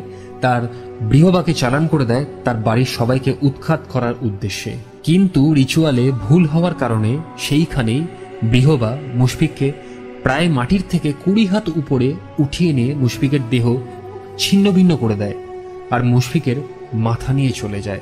সেই ছিন্ন ভিন্ন লাশের অংশগুলো বৃহবা অনুসারী পিসাজগুলো শিয়াল রূপে খেয়ে ফেলে। সেই এলাকার ইমাম সাহেব আরও বলেন, গতকাল আমার চারজন ছাত্রজিন এই ঘটনার উৎস জানতে যায় বৃহবান নগরীতে। ছদ্মবেশে। কিন্তু তার ছাত্রজিনদের চিনে ফেলায় তাদের মধ্যে তিনজনকে হত্যা করে আর একজন কোনো রকমে প্রাণ নিয়ে পালিয়ে আসে। আজ আমি আমার ছাত্রজিনদের জানাজা পড়িয়ে আসলাম আপনাদের এই খবর জানাতে। আমি উৎস খুঁজে দিলাম, এর থেকে বেশি কিছু আমার করা সম্ভব নয়। এই বলে এলাকার সেই ইমাম চলে যান। এরপর ঘটতে থাকে তাদের পরিবারের সাথে ভয়ানক মৃত্যুযোগ্য প্রথম বিহবার শিকার হয় মুশফিকের বাবা। এইবার মুশফিকের বড় ভাইয়ের পাঁচ বছরের শিশুপুত্র মুশফিকের দাদার নাম ছিল মুয়াসিন। মুয়াসিন তার স্ত্রী ও পুত্রকে নিয়ে রাতে ঘুমোচ্ছিল। এমন সময় মুয়াসিন একটা গোঙানির আওয়াজ পায় এবং মুয়াসিন উঠে দেখে তার বাচ্চাটাকে দেওয়ালের সাথে একটা অর্ধ মানুষ আকৃতির অবয়ব, যার মাথা একটা মানুষের মতো আর কোমর থেকে বাকি অংশটা সাপের মতো। তার মাথায় চুলগুলো দিয়ে একটা খোপার মতো বাঁধা আর সেই খোপার মাঝখান থেকে এক বিশাল আকৃতির শিং বেরিয়ে আছে। সেই অবয়বটা পেছন ঘুরে তাকায় আর বলে, এই নে। এই বলে মুয়াসিনের ছেলের মাথাটা ছুঁড়ে মারে মুয়াসিন ওখানেই অজ্ঞান হয়ে যায়। পরদিন মুয়াসিনের জ্ঞান ফেরে আর দেখতে পায় যে বাড়ির লোকজন তাকে ঘিরে সবাই দাঁড়িয়ে আছে। তখন মুয়াসিন আগে তার ছেলের কথা জানতে চায়। মুয়াসিনকে জানায়, ছেলের ভীষণ জ্বর, তার স্ত্রী ছেলের পাশেই আছে। মুয়াসিন কোনো রকমে যায় তার স্ত্রী ও পুত্রের কাছে। অনেক ডাক্তার ও কবিরাজ দেখানো হয়, কিন্তু কোনো ঔষধেই কোনো কাজ হয়নি। কুড়ি নম্বর দিনে রাতে মুহাসিনের ছেলে মৃত্যু যন্ত্রণায় কাতরাতে থাকে, আর একুশ নম্বর দিনে বিকালে সেই নিষ্পাপ শিশুটি চিরকালের মতো মায়ের কোল ছেড়ে কবরের কোলে ঘুমিয়ে পড়ে। এইবার মোয়াসিনের সাথে শুরু হয় ঘটনা। মোয়াসিনের সেই রাতে ছেলের কথা খুব মনে পড়ায়, মোয়াসিন মধ্যরাতের সময় একা একা কবরস্থানে যায়। ছেলের কবর যে জিয়ারত করতে। মোয়াসিন কবরস্থানের ভিতর প্রবেশ করে আর তার ছেলের কবরের দিকে এগিয়ে যায়। তখন লক্ষ্য করে তার ছেলের কবরের ওপর কয়েকটি তান্ত্রিকের মতো কালো বসন পরা লোক অজু হয়ে বসে কিছু একটা যেন করছে, কিন্তু তাদের মুখ সামনের দিকে ঝুঁকে থাকায় মোয়াসিন বুঝতে পারছিল না। তাই মোয়াসিন কে ওখানে বলে জোরে হাঁক দেয়? তখন ওই তান্ত্রিকের বেশে থাকা পিসাজগুলো মোয়াসিনের দিকে তাকায় আর মোয়াসিন দেখে সেই তান্ত্রিকগুলোর মুখের জায়গায় শিয়ালের মতো রক্ত মাখা মুখ যেন তারা এক্ষুনি কোনো মানুষের দেহ চিপিয়ে খেয়েছে। তখন তাদের মধ্যে একটা তান্ত্রিক একটা বাচ্চার কোনই পর্যন্ত অংশ হাতে নিয়ে ছিঁড়ে খেতে খেতে মুয়াসিনের সামনে দাঁড়িয়ে বলে বাচ্চার নরম কচি হাড় মাংস খেতে খুব মজা লাগে। এইটা তোর ছেলের হাত খাবি?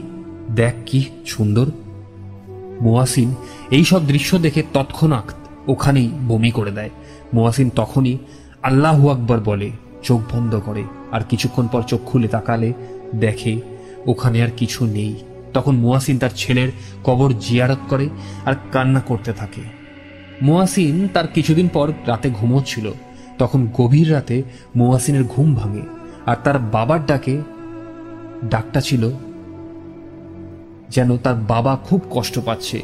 এমন স্বরে মোয়াসিনের ঘুম ভেঙে যায়। মোয়াসিন উঠে তার বাবার কণ্ঠ অনুসরণ করতে করতে বাড়ির পিছনের পুকুর ধারের পাশে আমবাগানে পৌঁছয়। হঠাৎ মোয়াসিনের খেয়াল হয় তার বাবা তো কিছুদিন আগেই মারা গেছে। তাহলে এটা কীভাবে সম্ভব? ঠিক তখনই মোয়াসিন দেখে পুরো আমবাগানের সমস্ত আম গাছের ডালে তার বাবার মৃতদেহ ঝুলছে। আর হা হা করে অট্টহাসি দিচ্ছে। মোয়াসিন সেই সময় রাগে গজরে বলতে থাকে, কাফেরের বাচ্চা, তোরা আমার বাবাকে, আমার ছোট্ট শিশুটাকে, আমার ভাইকে মেরেছিস। আয় আমার সামনে আয়। তখন সেই অদৃশ্য শক্তি বলে, সামনে আসলে সহ্য করতে পারবি তো?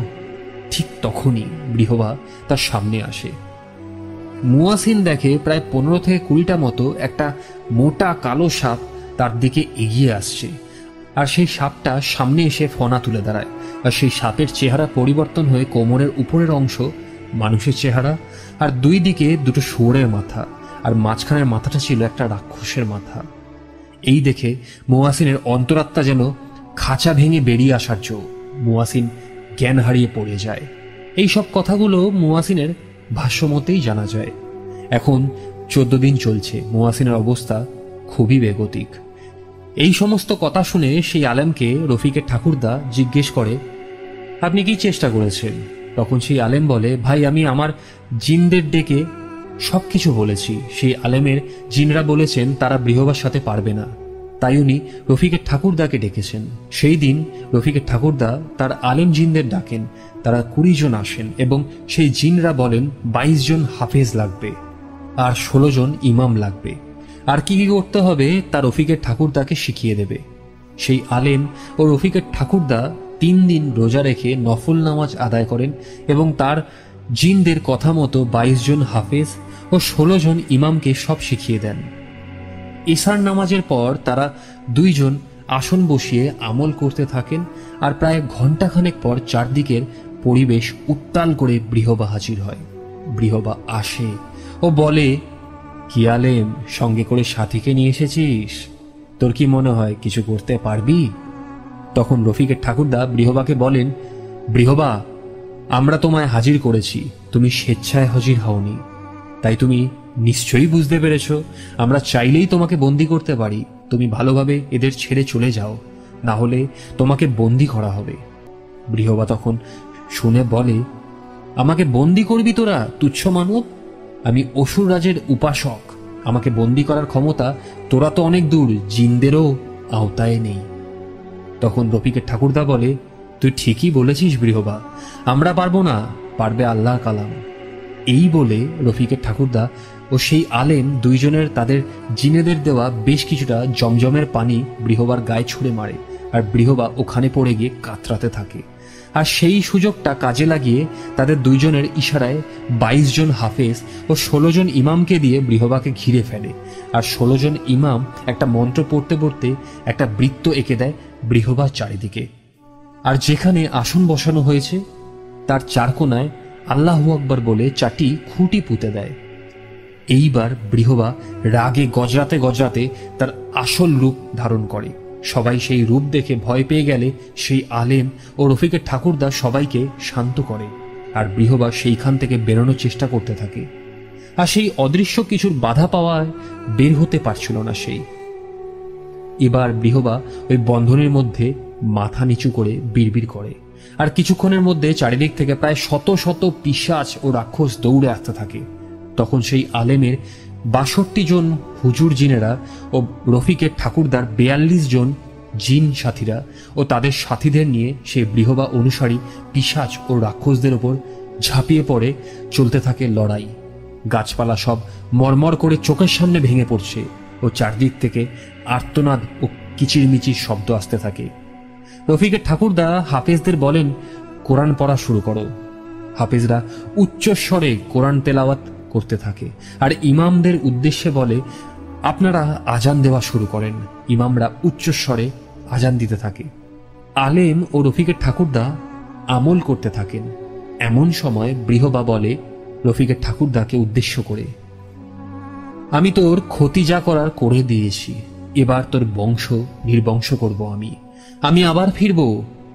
ততক্ষণে সেই আলেম ও রফিকের ঠাকুরদা জিনেরা সেই পিসাচ ও রাক্ষসদের বিতাড়িত করে দেয়। আর তারা দুইজন মিলে বৃহবাকে বোতলবন্দি করে ও দূরে এক জঙ্গলে একটা কড়িকাঠ বানিয়ে সেই বোতলটা তার মধ্যে রাখেন। আর সেই কড়িকাঠ এমন এক রিচুয়াল দিয়ে বন্ধ করেন যে রফিকের ঠাকুরদার বংশের কেউ এই কড়িকাঠ ভাঙলে তবেই সেই বৃহবা মুক্তি হবে। রফিকের ঠাকুরদা কাজ সম্পন্ন করে এবং বাড়ি এসে দেখেন তার ছেলে অর্থাৎ রফিকের বাবা রোড অ্যাক্সিডেন্টে মারা গেছেন। উনি বুঝলেন এ কাজ বৃহবার। তাই রফিকের মাকে বলেন, তোমার স্বামীর মৃত্যু স্বাভাবিক নয়। রফিকের মা কারণ জানতে চাইলে তিনি পুরো ঘটনা বিস্তারিত জানান। এত কিছুর পর রফিক সেই আলেমের কাছে সব শুনে বেশ অবাক হয়ে যায়। সেদিন তারা বাড়ি ফিরে আসে। সেদিন রাতে রফিক ঘুমোচ্ছিল। রফিকের ঘুম ভাঙে তার মায়ের চিৎকারে। রফিক লাফ দিয়ে ওঠে এবং তার মায়ের রুমে যায়। আর দেখে তার মার রুমে মা নেই। এই দেখে সারা বাড়ি খুঁজতে থাকে। অবশেষে রফিক তার মাকে পায় ছাদে। রফিক পিছন থেকে তার মাকে ডাকলে তার দিক ঘুরে তাকায় ও একটা দা দিয়ে এক কোফে রফিকের মা তার নিজের গলা কেটে ফেলে। আর সেই কাটা মাথাটা রফিকের দিকে ছুঁড়ে মারে। রফিক এই দৃশ্য দেখে পিছোতে গিয়ে পড়ে যায়। তখন সেই কাঠা মাথাওয়ালা রফিকের মায়ের অবয়বটা দৌড়ে এসে রফিকের বুকে পা তুলে দাঁড়িয়ে রফিকের মুখের কাছে এসে সেই কাটা মাথার জায়গাটা এগিয়ে নিয়ে আসে আর তখন রফিকের মুখের ওপর ফিনকি দিয়ে তাজা রক্ত পড়ছিল। রফিক কোনো রকমে উঠে দৌড় দেয় আর নিচে নেমে ডাইনিং টেবিলে ধাক্কা খেয়ে পড়ে যায় এবং সেই শব্দে তৎক্ষণাৎ রফিকের মা ও তাদের কাজের মাসির ঘুম ভেঙে যায়। তারা উঠে ডাইনিংয়ে এসে দেখে রফিক পড়ে যন্ত্রণায় উঠতে পারছে না।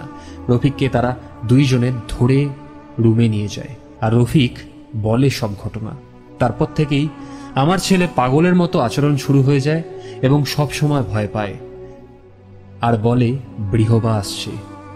বেশি কিছু খাওয়া দাওয়াও করে না, মাঝে মাঝে রক্তবমি করে। রফিকের অবস্থা পুরোপুরি খারাপ হওয়ার আগে রফিক তার মাকে জানিয়েছিল সিলেট যাওয়ার পর কি কি সে করেছিল? মূলত সিলেট ঘুরতে যায় তার চা বাগান দেখার জন্য এবং তাদের ট্যুর ছিল এক সপ্তাহের জন্য। কিন্তু তাদের বাড়ি ফেরার একদিন আগে তারা ঠিক করে, তারা দুই দিন জঙ্গলে কাটাবে। তাই তারা জঙ্গলে থাকার জন্য যা যা জিনিস লাগে সেগুলো রেন্ট নিয়ে ওখানকার এক লোকাল ছেলেকে সঙ্গে নিয়ে তারা এক জঙ্গলের অনেক গভীরে যায় এবং ওখানে তারা রাত কাটায়। প্রথম রাতে রফিক ঘুমোচ্ছিল, তখন একটা স্বপ্ন দেখে। সেই জঙ্গলের মধ্যে একটা কড়িকাঠ আর তার মধ্যে একটা উজ্জ্বল হিরে জাতীয় কিছু একটা দেখা যাচ্ছে। কেউ তাকে বলছে, এই হিরেটা তার জন্যই রাখা আছে, সে যেন এটা নিয়ে নেয়। পরদিন রফিক তার বন্ধুদের জানায় বিষয়টা, আর তারা লোভের বশবর্তী হয়ে খুঁজতে থাকে সেই কড়িকাঠ। কড়িকাঠ খুঁজতে সন্দেহ হয়ে যায়। তারা লক্ষ্য করে বেশ কিছু দূরে থাকা একটা উজ্জ্বল সবুজ আলো জ্বলছে। তারা বুঝতে পারে ওইখানেই আছে সেই হিরে। তারা সবাই মিলে সেই আলোর কাছে গিয়ে দেখে সেখানে অনেকগুলো তাবিজ ও আল্লাহ কালাম লেখা কাগজ দিয়ে জড়ানো একটা কড়িকাঠ। তারা ওই সব উপেক্ষা করে সেই কড়িকাঠ ভাঙে আর তখনই একটা গরম বাতাস কড়িকাঠের ভেতর থেকে বেরিয়ে আসে। আর সেই সবুজ আলোটাও নিভে যায়। তারা টর্চ মেরে দেখে কড়িকাঠের মধ্যে একটা ভাঙা কাচের বোতল। তারা সবাই নিরাশ হয়ে ফিরে আসে। তাঁবুতে গিয়ে খাওয়া দাওয়া সেরে ঘুমিয়েও যায়। সেদিন কারোর সাথেই কিছুই ঘটেনি। রফিকরাও পরদিন সবাই বাড়ি ফিরে আসে আর তার দুই দিন পরই ঘটতে শুরু করে এই ঘটনা। রফিকের মা সাজিদ ভাইকে এ যাবৎকাল পর্যন্ত পুরো ঘটনা সব জানায় এতক্ষণ ধরে।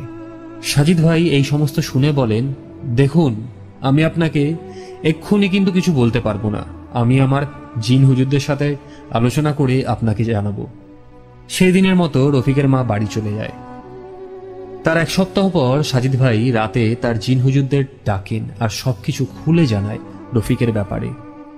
জিন হুজুরেরা সবকিছু শুনে বলে, দেখো সাজিদ, আমরা ওর সাথে শক্তিতে পারব না। একজন পারবে সে হলো এক বিশেষ প্রজাতির জিনদের সর্দার। তার তিন পুত্রকে বৃহবা মেরে ফেলেছিল। সেই সর্দার বহু বছর ধরে তার ছেলের হত্যাকারীদের খুঁজছে। উনি একজন ইমানদার জিনদের সর্দার। যদি এনাকে রাজি করানো যায়, তাহলেই কিন্তু সম্ভব। সাজিদ ভাই, তার জিনদের বলেন, তাহলে আপনারা তাকে খবর পাঠান। জিনেরা বলে, আমরা সব সময় চাইলেই সবকিছু পারি না, সাজিদ। কিছু কিছু ক্ষমতা আল্লাহ তালা আমাদের দেননি। সাজিদ ভাই বলেন, তাহলে কে পারবে? জিনেরা বলেন পারবে আমাদের থেকে যিনি বেশি সিনিয়র জিন যিনি মাঝে মাঝে তোমার কাছে আসে এবং উনি চেষ্টা করলে পারবেন। সাজিদ ভাই পরদিন রফিকের মাকে ফোন করেন এবং বলেন, উনি দেখবেন রফিকের ব্যাপারটা। পরদিন সাজিদ ভাই স্মরণ করছিল সেই সিনিয়র জিনকে। উনি বেশ কিছুক্ষণ পর আসেন এবং সাজিদ ভাই একটা লম্বা সেলাম দেন সেই সিনিয়র জিনকে এবং সেই জিনও সেলামের উত্তর দেন। ওই সিনিয়র জিন বলেন, বলো সাজিদ, কি সমস্যা? সাজিদ ভাই রফিকের বিষয়ে জানায়, আর সিনিয়র জিনকে অনুরোধ করে উনি যেন সেই জিনদের সর্দারের সঙ্গে কথা বলেন এই বিষয়ে। সিনিয়র জিন বলেন, দেখো, আমি তোমাকে কথা দিতে পারছি না, তবে চেষ্টা করে দেখতে পারি। সাজিদ ভাই পরদিন সন্ধ্যায় রফিকের বাড়ি যান। রফিককে দেখতে, রফিক তার রুমে জানলার সামনেই দাঁড়িয়েছিল সাজিদ ভাই রফিকের পিছনে দাঁড়িয়ে রফিককে জিজ্ঞাসা করল রফিক কি খবর? কেমন আছো?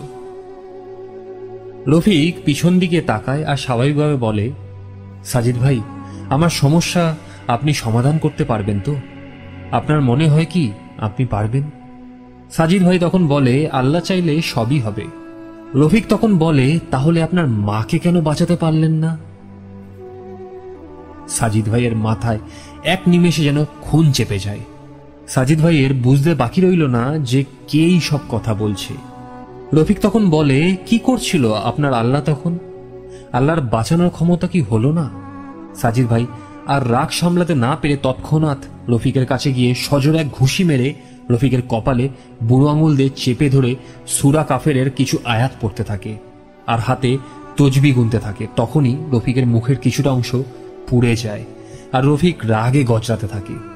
রফিক সাজিদ ভাইকে বলল, এইবার দেখ, তোর আর আমার মধ্যে পার্থক্য কিছু আছে? সাজিদ ভাই রফিককে ছেড়ে দূরে সরে আসে আর দেখে রফিক দেওয়াল বেয়ে ঘরের সিলিংয়ে উঠে উল্টো হয়ে বাদুরের মতো ঝুলছে আর হাসছে। তখন সাজিদ ভাইকে বলে, সাজিদ, আমাকে আটকানো তোর ক্ষমতার বাইরে? সাজিদ ভাই বুঝতে পারে, এখন কিছু করা সম্ভব নয়। সাজিদ ভাই রফিকের রুম থেকে বেরিয়ে এসে দেখে রফিকের মা সোফায় বসে আছে। সাজিদ ভাইকে দেখে রফিকের মা একটু অবাক হয়ে যান। রফিকের মা তখন সাজিদ ভাইকে জিজ্ঞাসা করেন, ভাই, আপনি কখন আসলেন? সাজিদ ভাই তখন বলে, রফিককে দেখতে এসেছিলাম। রফিকের রুমেও গেছিলাম। রফিকের সাথে কথাও হলো। রফিকের মা তখন অবাক হয়েই কিছুটা বললেন, কিছুই তো বুঝতে পারছি না।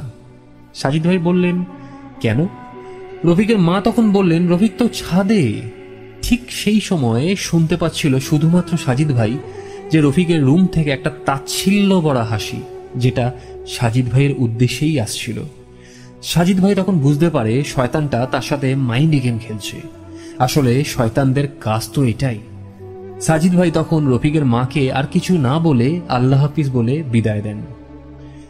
তখন প্রায় সন্ধে সাতটা পঁয়তাল্লিশের মতো হবে। সাজিদ ভাই রফিকের বাড়ি থেকে বেরিয়ে বাড়ি ফিরছিলেন। তখন হঠাৎ সাজিদ ভাইয়ের ভয় লাগতে থাকে। সাজিদ ভাইয়ের বাড়ি যেতে হলে একটা ছোট্ট বাগানের পাশ থেকে যেতে হয়। সেই বাগান থেকে যাওয়ার সময় সাজিদ ভাই হঠাৎ দেখেন একটা বিশাল আকৃতির কুকুর তার উপর রাস্তা আটকে দাঁড়িয়ে আছে। সাজিদ ভাই মনে মনে তার জিন হুজুরদের স্মরণ করতে থাকেন। সাজিদ ভাই একটা মন্ত্র পড়তে পড়তে পাশের গাছ থেকে একটা মোটা ডাল ভেঙে সেটায় মন্ত্র পড়ে ফু দিয়ে এগিয়ে যেতে থাকে সেই কুকুরটার দিকে। তখন কুকুরটা এক লাফে যেন অদৃশ্য হয়ে যায়। আর তখনই জঙ্গলের মধ্যে থেকে একটা অট্ট হাসি আসতে থাকে। আর সাজিদ ভাই বলেন, ক্ষমতা থাকলে সামনে এসো। সেই সময় হাসির শব্দ থেমে যায়। আর জঙ্গলের ভেতর থেকে একের পর এক বাচ্চাদের কাটা মাথা ছুঁড়ে মারতে থাকে। সাজিদ ভাইয়ের তিনজন জিন হুজুররা সেখানে উপস্থিত হয় ও তাদের মধ্যে দুইজন জঙ্গলের মধ্যে থেকে তাদেরকে তাড়া করে ভাগিয়ে দেয়। আর সাজিদ ভাইকে বাড়ি পৌঁছে দেয়। সেদিন রাতে সাজিদ ভাই আল্লাহর ইবাদত করার পর সাজিদ ভাই সেই সিনিয়র জিনকে স্মরণ করতে থাকে। কিছুক্ষণ পর সেই সিনিয়র জিন হাজির হন। সাজিদ ভাই সেলাম দিয়ে বলেন, তার সাথে আজ যা যা ঘটেছে সব। সেই জিন সেলাম, সেই জিন সেলামের উত্তর দিয়ে বলেন, আমি সেই জিন সর্দারকে সব জানিয়েছি। উনি আসবেন সাহায্য করতে। আর তার সাথে এক হিন্দু জাতির জিনকে নিয়ে আসবেন। সাজিদ ভাই, সিনিয়র জিনকে জিজ্ঞাসা করেন, তাহলে এখন সাজিদ ভাইয়ের কি করতে হবে? সেই সিনিয়র জিন সাজিদ ভাইকে কিছু আমল শিখিয়ে দেন আর বলেন, কি কি করতে হবে? সাজিদ ভাই পরদিন সন্ধ্যায় কাজের সরঞ্জাম নিয়ে মসজিদে এসার নামাজ আদায় করে রফিকের বাড়িতে যান। রফিকের মাকে সাজিদ ভাই আগে থেকেই ফোন করে বলেছিলেন তাদের টিভি রুমটা ফাঁকা করে রাখতে। ওখানে বেশ কিছুটা জায়গা লাগবে তার কাজ করার জন্য। সাজিদ ভাই যাওয়ার সময় একটু হলেও কিন্তু ভয় পাচ্ছিলেন। কিন্তু সব ভয়কে আজ সে পেছনে ফেলে বৃহবা নামক সেই রাক্ষসের সাথে তার লড়াই হতে চলেছে। সাজিদ ভাই জানেন, কাজ সফল না হলে তারও কিন্তু জীবন চলে যেতে পারে। কিন্তু সেই সময় সাজিদ ভাই আল্লাহকে বিশ্বাস করে এগিয়েছিলেন। সাজিদ ভাই রফিকদের বাড়িতে ঢুকে টিভি রুমে একশো বিয়াল্লিশটা পেরেক আল্লাহু আকবর বলে গেঁথে দেন। এবার একটা সাদা কাফনের কাপড় মেঝেতে বিছিয়ে তার উপর কাঁচা মুরগির কাঁচা মাংস সরিয়ে দেন আর বৃহবার স্থান বরাবর একটা বড় আয়না সাদা কাপড় দিয়ে ঢাকা অবস্থায় রেখে দেওয়া হয়। এইবার সাজিদ ভাই জোরে জোরে কোরআন তেলাওয়াত করতে থাকে। কিছুক্ষণ পর রফিকের ঘরের দরজা আপনা আপনি ভেঙে চুরমার হয়ে গেল আর সেই ঘর থেকে সাপের ফোঁস করে কোজরানোর শব্দ আসতে থাকে। আর সেই ঘরের থেকে একটা পনেরো ফুট কি তার বেশি আকারের একটা কালো বড় আকৃতির সাপ সেই টিভি রুমে প্রবেশ করে এক বিশাল ফোনা তুলে ফুসফুস করছিল। সাজিদ ভাই কোরআন তেলাওয়াত থামিয়ে ওই সাপটাকে কাঁচা মুরগির মাংসের দিকে নির্দেশ দেয় হাতের ইশারায়। আর সাপটাকে ওই মুরগির কাঁচা মাংস খেয়ে ফেলতে বলে। এবার সাজিদ ভাই সেই সাপটাকে এক প্রকার তাচ্ছিল্য ভরা সুরে বলল কি হলো বৃহবা তোর তো বিশাল ক্ষমতা, তাহলে হাজির কেন? শোন, তবে কাফেরকেও আল্লাহ সুযোগ দেন, যদি সে সত্য মন থেকে ভালো হবার চেষ্টা করে। কিন্তু তুই কিন্তু শুধরবি না। তুই ভালোই ভালোই রফিককে ছেড়ে চলে যা, নয়তো তোর কপালে অশেষ দুঃখ আছে। তুই যা ভাবতেও পারছিস না। বৃহবা এতক্ষণ ফোঁস করছিল। এবার বৃহবা তার নিজের রূপে আসে এবং সাজিদ ভাই বৃহবার সেই রূপ দেখে অন্তরটা কেঁপে ওঠে। তাও সাজিদ ভাই সাহস হারায়নি।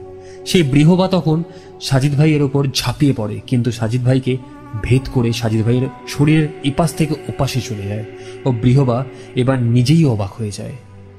সাজিদ ভাই এবার তখন একটা মুচকি হাসি দিয়ে বলে, এবার তুই বল, কি করবি? ছাড়বি কি?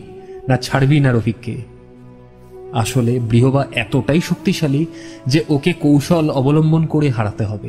সাজিদ ভাই জানতো, ওই তদবির বৃহবার ওপর করা হয়েছে। মুরগির কাঁচা মাংসের মাধ্যমে। তা ক্ষণস্থায়ী। বৃহবা এবার মন্ত্র পড়তে থাকে। তখনই সাজিদ ভাইয়ের ঘরের চারকোনায় চারজন জিন হুজুররা চলে আসে আর সেও আজান দেওয়া শুরু করে।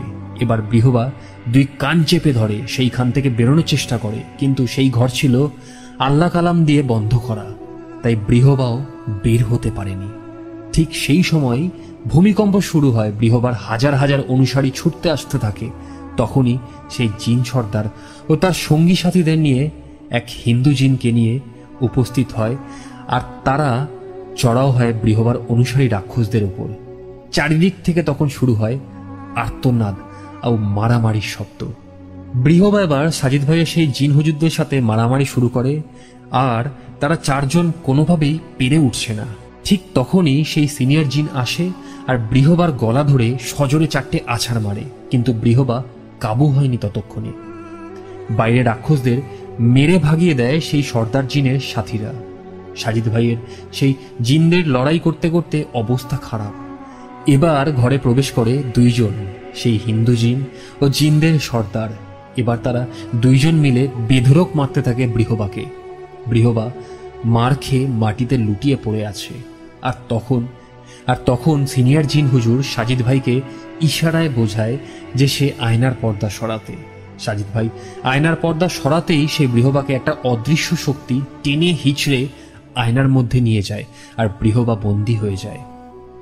সেই জিন্দের সর্দার চকমকে একটা উজ্জ্বল কিছু দিয়ে ওই আয়নায় সজোরে আঘাত করে। আর আয়না ভেঙে যায় ও তার সাথে একটা হৃদয় কাঁপানো মৃত্যু যন্ত্রণার চিৎকার শোনা যায়। সেই সর্দার ক্রোধের সাথে সেই হাওয়ায় মিলিয়ে যায় আর সেই হিন্দু জিনও চলে যায়। সিনিয়র জিনকে সাজিদ ভাই জিজ্ঞাসা করেন, বৃহবার কি হলো? সেই সিনিয়র জিন বলেছিলেন, বৃহবা এখন জাহান নামের আগুনে পুড়ছে। রফিকের সমস্যা আল্লাহ আমাদের সবার মাধ্যমে সমাধান করেছিলেন। রফিক কিছুদিন পর সুস্থ হয়ে ওঠে। সাজিদ ভাই আমাদের জন্য একটা মেসেজ ছেড়েছেন। উনি লিখেছেন, একটা কথা বলতে চাই, রূপকথার গল্প আমি আপনাদের শোনাই না। আপনাদের কাছে এটা রূপকথা মনে হওয়াটাও কিন্তু স্বাভাবিক। কিন্তু কোনো মা যখন আমাদের কাছে এসে এই সব ঘটনা শেয়ার করে আর অনুরোধ করে তাদের সাহায্য করতে, অবশ্যই আমরা তা আল্লাহর মাধ্যমে করি। কিন্তু তখন এটা আমার কাছে রূপকথা মনে হয় না। কারণ আমার এই রূপকথা জগৎটা প্রতিনিয়তই উঠা বসা করতে লাগে। আসলে দোষ আপনাদেরও দিচ্ছি না। যাদের সাথে এই রূপকথার ঘটনা ঘটছে, তারাই একমাত্র জানে যে এই রূপকথার ঘটনাটা কতটা কষ্টের। আমাদের সামনে অনেক এমন কিছুই ঘটে যায় যা আপনারা দেখতে পাবেন না। তাই আপনাদেরকে বলব যে ঘটনাকে উপভোগ করুন গল্পের মতো করে। ঈশ্বর আপনাদের সবাইকে ভালো রাখুন। এই দোয়াই আমি করব সাজিদ। আল্লাহ হাফিজ।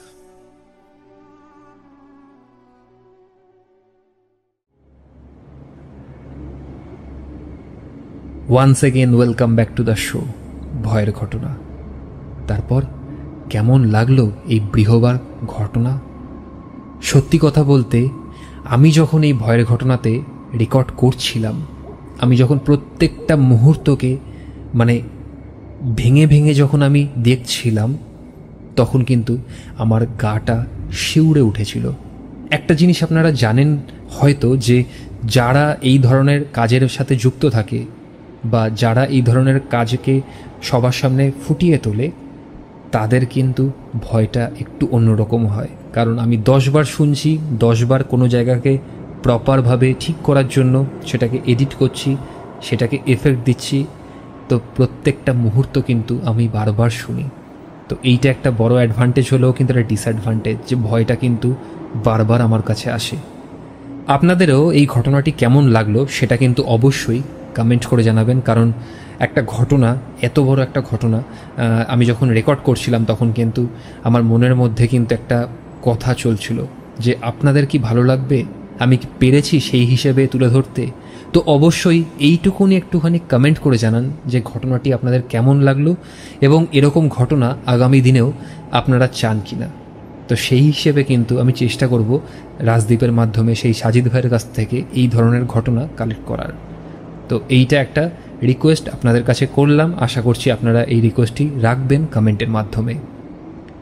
আমি সাজিদ ভাই এবং রাজদীপ দুজনকেই থ্যাংক ইউ জানাব যে এরকম একটি ঘটনা আমাদের ভয়ের ঘটনা চ্যানেলের কাছে পৌঁছে দেওয়ার জন্য। আপনাদেরও যদি কোনো এরকম চেনা জানা কোনো পরিচিত মানুষ থাকে, যারা এই ধরনের ঘটনার সাথে সাক্ষী হয়েছেন কখনো কোনোভাবে, তো অবশ্যই কিন্তু আপনারা সেই ঘটনা তুলে পাঠাতে পারেন।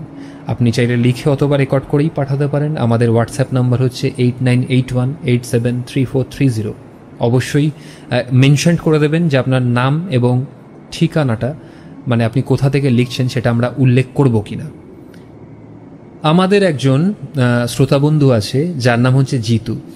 জিতু থাকে হচ্ছে নদিয়া জেলার রানাঘাটে এবং এই জিতু বেশ কয়েকদিন ধরে শরীর খারাপে ভুগছিল এবং শরীরটাও ঠিক ছিল না। তো একটা ঘটনা জিতু আমাদের সাথে শেয়ার করেছে, খুব শীঘ্রই সেই ঘটনাটিকে আমি আপনাদের সামনে তুলে ধরবো, কিন্তু জিতুর অবস্থা যেহেতু খুব মানে খারাপ হয়ে গেছিল এবং হসপিটালাইজড হয়েছিল জ্বরের কারণে, তাই আমি অন বিহাফ অফ এভরি আমি ভয়ের ঘটনার তরফ থেকে জিতুকে আমি বলব যে খুব শীঘ্রই যেন তাড়াতাড়ি সুস্থ হয়ে ওঠে এবং আমাদের এই পরিবারের সাথে যেন যুক্ত হয়ে থাকে। সব সময়, সবভাবে। এটা আমি একটা জিতুর সম্পর্কে একটা কথা আপনাদের কাছে আমি এটা শেয়ার করলাম। কারণ আমিও চাই যে আমাদের কোনো শ্রোতা বন্ধু, আমাদের এই ফ্যামিলির কোনো মেম্বার যেন শরীর খারাপে না ভোগে। এটা আমি সব সময় চাই। যাই হোক এবার আমাদের পরবর্তী ঘটনাতে এগোনো যাক। এই ঘটনাটি আমাদের সাথে শেয়ার করেছেন ইন্দ্রজিৎ রায়চৌধুরী এবং ঘটনাটি ইন্দ্রজিৎ দার সাথে শেয়ার করে ইন্দ্রজিৎ দার একজন বন্ধু। কি সেই ঘটনাটা, সেটা আপনারা শুনতেই পারবেন ইন্দ্রজিৎ দার ভয়েসেই। তাই চলুন বেশি কথা না বাড়িয়ে শুনে নেওয়া যাক ঘটনাটি এবং দেখা যাক যে এই ঘটনাটির মধ্যে কতটা ভয় জড়িয়ে থাকতে পারে।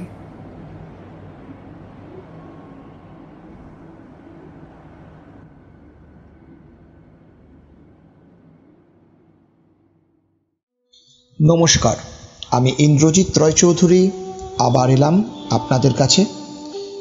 আবার আরেকটি ভৌতিক অভিজ্ঞতা শেয়ার করার জন্য। এই ভৌতিক অভিজ্ঞতাটা আমাকে শেয়ার করেছেন আমারই একজন গল্পের শ্রোতা, শুভজ্যোতি চক্রবর্তী। শুভজ্যোতি বাবু সিভিল ইঞ্জিনিয়ারিং পড়ছিলেন। সেই সময় ক্যাম্পাস ইন্টারভিউতে একটা দিল্লির সিভিল কোম্পানিতে চাকরি পাইয়ান। মানে কনস্ট্রাকশন কোম্পানি তারা খুব বড় বড় বিল্ডিং কনস্ট্রাক্ট করেন। তা সেই বিল্ডিং কনস্ট্রাকশন কোম্পানিতে চাকরি পাওয়ায় কলকাতা থেকে তাকে ছেড়ে দিল্লি যেতে হবে। তা কোম্পানি তাকে আলাদা করে নিজেদের গেস্ট হাউস দেন থাকবার জন্য। তা ওনার পেরেন্টস ওনাকে তো একা ছাড়তে ভরসা পাচ্ছিলেন না। তবু ছাড়তে বাধ্য হয় ছেলে তো চাকরি করতে যাবে। তা যে গেস্ট হাউসে ওনাকে থাকতে দিয়েছিল, সেই গেস্ট হাউসটাও যে প্রজেক্টটা হচ্ছিল তার জন্যই করা। এবং সেটা কিন্তু টেম্পোরারি পারপাসে করা। ওখানকার যত ইঞ্জিনিয়ার যত সুপারভাইজার হেড ক্লার্ক থেকে শুরু করে সবাই ওই গেস্ট হাউসে বিভিন্ন ঘরে থাকতো। কোম্পানি ওটা তৈরি করে দিয়েছিল। তা যাই হোক, উনি গিয়ে দেখলেন একটা থার্টি ফুট স্টোরেজ বিল্ডিং হচ্ছে। অনেক বছর হয়ে গেছে। বুঝতেই পাচ্ছেন প্রায় তিন বছর ক্রস করে গেছে বিল্ডিংটা তৈরি হচ্ছে। এবং বাড়িটার বারো তলা অবধি মোটামুটি কমপ্লিট হয়ে গেছে। বাকিটা তেরো তলা থেকে বাড়িটা সিল করা আছে। তা কি করবেন উনি? ওনার তো কিছু করার নেই। তা উনি দেখছেন ওনাকে যা যা কাজ দিয়েছেন, ওখানকার যে চিফ ইঞ্জিনিয়ার উনি সেই কাজগুলোই করেন। কিন্তু ওনার একটা খুব স্বাদ ছিল। চৌত্রিশ তলার ছাদে দাঁড়িয়ে উনি ভালো করে দিল্লিটাকে দেখবেন। স্বাভাবিক কথা, অনেকেই হাইরাইজ থেকে জায়গাটা দেখা পছন্দ করেন, ওনারও ঠিক চাইছিল। কিন্তু উনি দুবার ঘুরে এসেছেন বারোতলা থেকে তেরোতলায় উঠবার জায়গাটায় ব্লক করা আছে টিন দিয়ে এবং কেউ ওপরে ওঠে না। সবাই ওই বারোতলা অবধি কাজ করছে। বারোতলাতেই যতটা সিভিলের কাজ করার ততটা করছে এবং সিভিলের কাজ যেটা যেটা শেষ হয়ে গেছে, সেখানে রঙের কাজ চলছে বা অন্যরকম মেনটেন্সের কাজ চলছিল। এই কাজগুলো চলছে। উনি অনেককে ডেকে ডেকে জিজ্ঞেস করলেন, কিন্তু কারুর কাছ থেকেই ওই ব্যাপারে কোনো সৎ উত্তর পেলেন না। সবারই বক্তব্য ঠিক বলতে পারবেন না। বারোতলা অবধি কাজ হচ্ছে, তেরোতলা থেকে কেন বন্ধ? ওনারও মনে হয়েছে কোনো ডিস্টারবেন্স আছে, হয়তো সিভিলের কোনো ড্রয়িংয়ের প্রবলেম কিন্তু পরেও তার মাথায় এলো ড্রয়িংয়ের প্রবলেম হলে তো গোটা বিল্ডিংটারই ড্রয়িংয়ের প্রবলেম হবে। বা ফায়ারের প্রবলেম হলে গোটা বিল্ডিংটারই প্রবলেম হবে। বারোতলা অবধি ঠিক থাকবে, তারপর থেকে গণ্ডগোল হয়ে যাবে, এটা তো হতে পারে না। তা যাই হোক, উনি একটু কিউরিওসিটির মধ্যে ছিলেন, কি আছে, কেন এরকম হচ্ছে?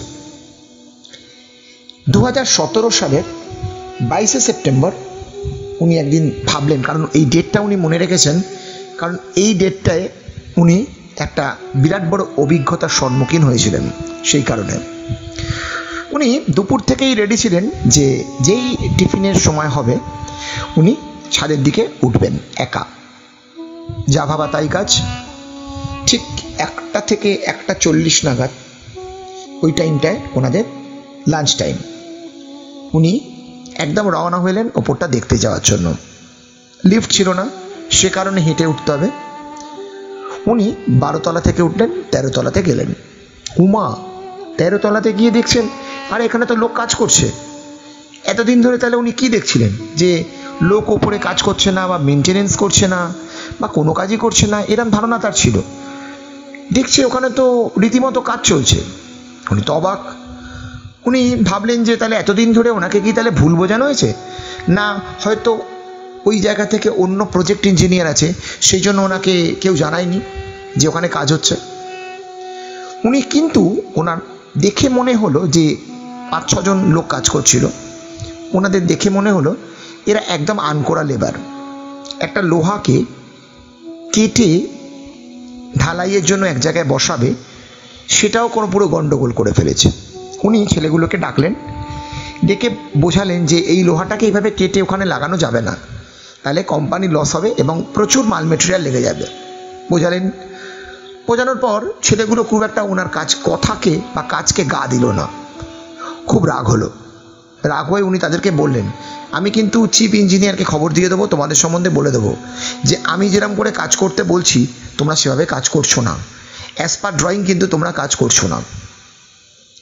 কিন্তু দেখল লেবারগুলোর কোনো দোলচাল নেই। এত কিছু ভয় দেখানোর পরও লেবাররা যেভাবে কাজ করছিল ঠিক সেইভাবেই কাজ করছে। এইটা দেখে বা এরম বিরক্তিকর পরিবেশে উনি আর বেশিক্ষণ দাঁড়ালেন না। উনি ওপরের দিকে রওনা হলেন। উনি ওপরে গেলেন, ওপরে দেখলেন, টেকলেন, ওখান থেকে মোবাইলের ক্যামেরায় কতগুলো ফটো তুললেন। তারপর ওপর থেকে আস্তে আস্তে নিচে নেমে এলেন। যখন নিচে নামছেন, আবার সেই তেরোতলায় দেখলেন সেই লোকগুলো আবার কাজ করছে। এবারে খুব বিরক্ত লাগল। কথা তো শুনলেনই না, প্লাস যেভাবে ভুল করে কাজ করা, ঠিক সেভাবে ভুল করে লেবারগুলো কাজ করে যাচ্ছেন উনি লেবারগুলোকে ওখানে শাসালেন কিছুক্ষণ, বলে, বললেন, আমি চিফ ইঞ্জিনিয়ারের সাথে এক্ষুনি গিয়ে কথা বলছি। বলে, উনি তেরোতলা থেকে আস্তে আস্তে নিচের দিকে নেমে এলেন। একতলায় নেমে এসে উনি সিভিল ইঞ্জিনিয়ার ঘরে গেলেন। সিভিল ইঞ্জিনিয়ার ঘরে গিয়ে উনি। রীতিমতো হম্বি তম্বি করে বলছেন হ্যাঁ তেরো তলাতে কতগুলো লেবার কাজ করছে? আমি তো কোনো দিনই দেখিনি। আজকে আমি প্রথম গেলাম। আমি প্রথম গিয়ে দেখতে পেলাম এরকমভাবে কাজ করছে। তা ওদেরকে এত করে বোঝালাম, কোম্পানি লস হয়ে যাবে? তা সত্ত্বেও জোর করে ওরা ওখানে কাজ করছে, ভুলভাবে কাজ করছে। আর আমি যেভাবে কাজ দেখিয়ে দিলাম, সে কাজটা ওরা করছে না। সিভিল ইঞ্জিনিয়ার প্রথমে কথাটাকে আমল দেয়নি। পরে যখন ফ্লোরের নামটা শুনলো যে তেরোতলা তখন শুভজ্যোতিবাবুকে বললেন যে, তোমাকে ওখানে কে যেতে বলেছে? তখন শুভজ্যোতিবাবু বলল হ্যাঁ আমাকে তো কেউ যেতে বলেনি, আমি সেটাই তো অবাক হয়ে যাচ্ছি। এতদিন ধরে প্রায় মাসখানেক হয়ে গেল আমি এখানে এসেছি। বারবারই বলা হয় বারোতলা থেকে আর ওপরে কাজ হবে না। তা আজকে তেরোতলাতে লোক দেখে তো আমি অবাক, আমি ছাদে যাব চিন্তা করেছিলাম। ওখান থেকে বিল্ডিংটা থেকে কিরম লাগছে শহরটা, একটু টিফিনের সময় ফটো তুলবো, সে চিন্তা করেছিলাম। কিন্তু আজকে গিয়ে দেখি তো অলরেডি তেরোতলাতে কাজ চলছে। আবারও সিভিল ইঞ্জিনিয়ার ভদ্রলোক বলল, তোমাকে আমরা কি ওপরে যেতে বলেছি? কাজ দেখতে বলেছি? কথাটা শুনে শুভজিৎবাবু একটু চুপ করে গেলেন। তখন বললেন যে, তোমার যদি ওখানে গেলে, যদি তোমার ওখানে কোনো ক্ষতি হয়ে যেত, তাহলে তোমার বাবা মাকে কে কৈফের দিত? বা তোমার বাবা মা যদি এইখানে আসতো আমাদের কাছে, তাহলে আমরা তো কম্পেনসেশন দিতে পারতাম না। কারণ সবাইকেই বারণ করে দেওয়া আছে, বারোতলার ওপরে কেউ যাবে না।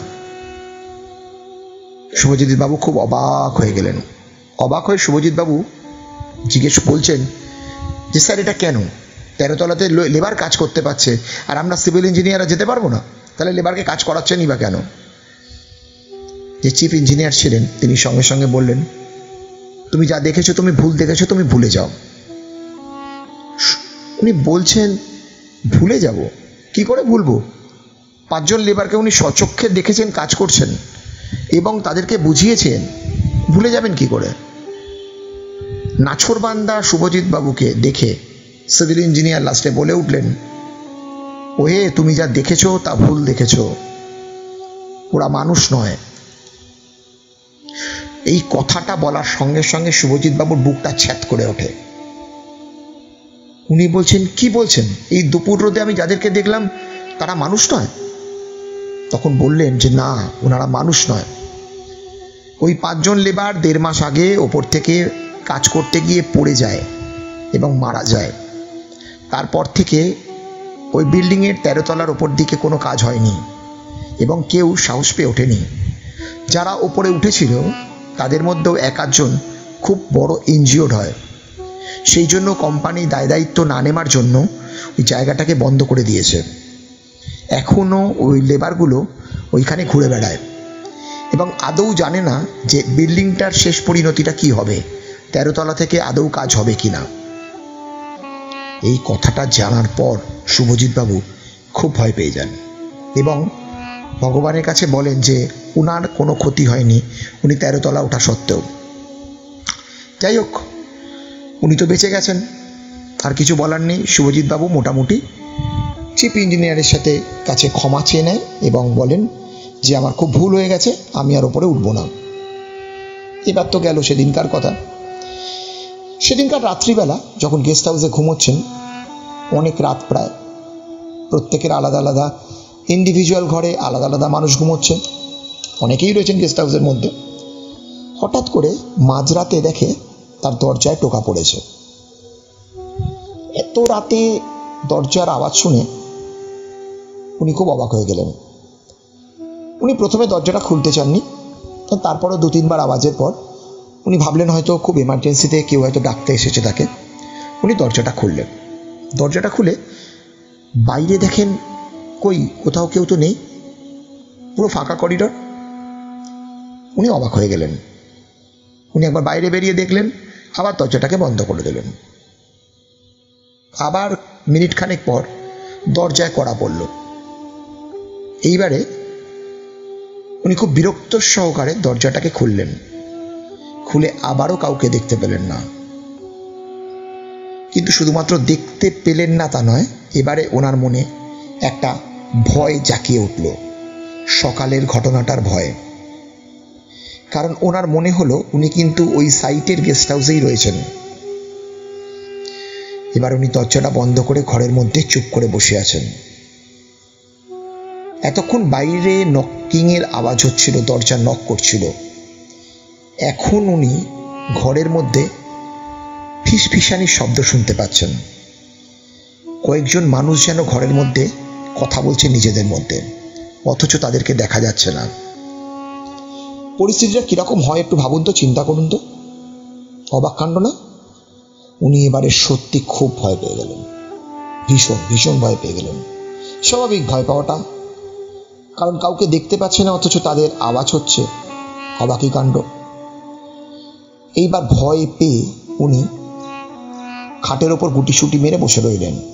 সারা রাত ওইভাবে কেটে গেল।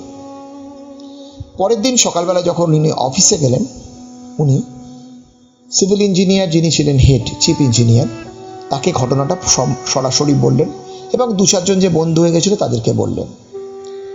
ওরা বলল, ভাইয়া, কোনো ব্যাপার নয়, তুমি মাঝরাতে ঘুম ভেঙে গেছিল ওই জন্যই এরকম। তোমার মনে হয়েছে? সেই দিন রাত্রিরে আবার সে একই পরিস্থিতির সম্মুখীন হয়, অবাকই হয়ে যায়। এরপর আর কিছুই নয়। শুভজিৎ বাবুকে, ওনার সিভিল ইঞ্জিনিয়ার যিনি চিফ ইঞ্জিনিয়ার, উনি ওনাকে পরামর্শ দেন, তুমি সেদিন যাদের সম্বন্ধে রিপোর্ট করেছিলেন, তারা তোমাকে শাসাতে রোজ রাত্রিবেলা ঘরে আসছে। হয়তো তোমার কোনো ক্ষতিও করে দিতে পারেন। আমার মনে হয় তুমি এই প্রজেক্টটা ছেড়ে চলে যাও। তুমি এই প্রজেক্টে থেকো না। শুভজিৎবাবু যে কদিন ছিলেন সে কদিন একই পরিস্থিতির সম্মুখীন হয়েছিলেন রাত্রি, গোটা রাতটা উনি থাকলেন না। উনি চাকরিটা ছেড়ে দিলেন। ছেড়ে কলকাতাতে চলে এলেন। কারণ ওনার মনে হয়েছিল, যাদের সম্বন্ধে উনি কমপ্লেন করেছিলেন, তাদের উনি টার্গেট হয়ে গেছেন। সেই কারণে সর্বক্ষণ তাকে ঘুরে, তার চারিপাশে ঘুরে বেড়াচ্ছে এবং নিজেরা ফিসফিসিয়ে কি যেন কথা বলছে। শুভজিৎ বাবু, আস্তে আস্তে এই চাকরি ছেড়ে কলকাতায় চলে আসেন। তারপরে উনি আর কোনো এরকম ফিসফিসানি শব্দ কিছুই শুনতে পায়নি। তা আজকের এই গল্পটা কতটা ভয়ঙ্কর ছিল বুঝতেই পারছেন? আমি শুভজ্যোতি চক্রবর্তীর মুখ থেকে এই গল্পটা শুনেছিলাম। এবং তার এই ভৌতিক অভিজ্ঞতা আপনাদের সঙ্গে শেয়ার করলাম। তবে আসি আজকে, আবার পরের দিন আসব আরেকটা ভৌতিক অভিজ্ঞতা নিয়ে আপনাদের সঙ্গে সময় কাটাতে। ততক্ষণ আসছি, নমস্কার।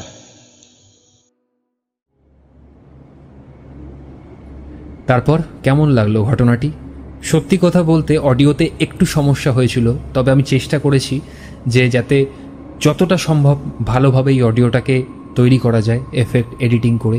তো আমি সেইভাবেই তৈরি করেছি এবং আশা করছি আপনারাও ঘটনাটিকে ভালোভাবে বুঝতে পেরেছেন, শুনতে পেরেছেন এবং ভয়টাকে অনুভব করতে পেরেছেন। অবশ্যই কিন্তু কমেন্ট করে আপনারা জানাবেন যে ঘটনাটি কেমন লাগল এবং আজকের এই চারটে ঘটনার মধ্যে কোন ঘটনাটা আপনাদের সব থেকে বেশি ভয়ের লেগেছে এবং সব থেকে বেশি কষ্টের লেগেছে, সেটা কিন্তু আপনারা কমেন্ট করে জানাবেন, কারণ আপনাদের জন্যই কিন্তু আমরা রয়েছি। আজকের মতো এই চারটে ঘটনাই ছিল আপনাদের জন্য। আশা করছি আগামী দিনেও এর থেকেও আরও ভয়ঙ্কর ভয়ঙ্কর ঘটনা, ভয়ের ঘটনা আপনাদেরকে শোনাতে পারব। আপনারা সবাই ভালো থাকবেন, সুস্থ থাকবেন এবং অবশ্যই নিজেদের মানুষদের খেয়াল নেবেন। আগামী সপ্তাহে শনিবার ঠিক রাত এগারোটা উনষাট মিনিটে আবারও দেখা হবে আপনাদের সাথে বেশ কিছু ভয়ের ঘটনা নিয়ে। টিল দেন আমি নির্মাল্য এবং আমার গোটা টিম আপনাদের থেকে বিদায় চাইছি। আপনাদেরকে জানাতে চাইব যে সেই পর্যন্ত সবাই সুস্থ থাকুন, ভালো থাকুন। ধন্যবাদ। টাটা।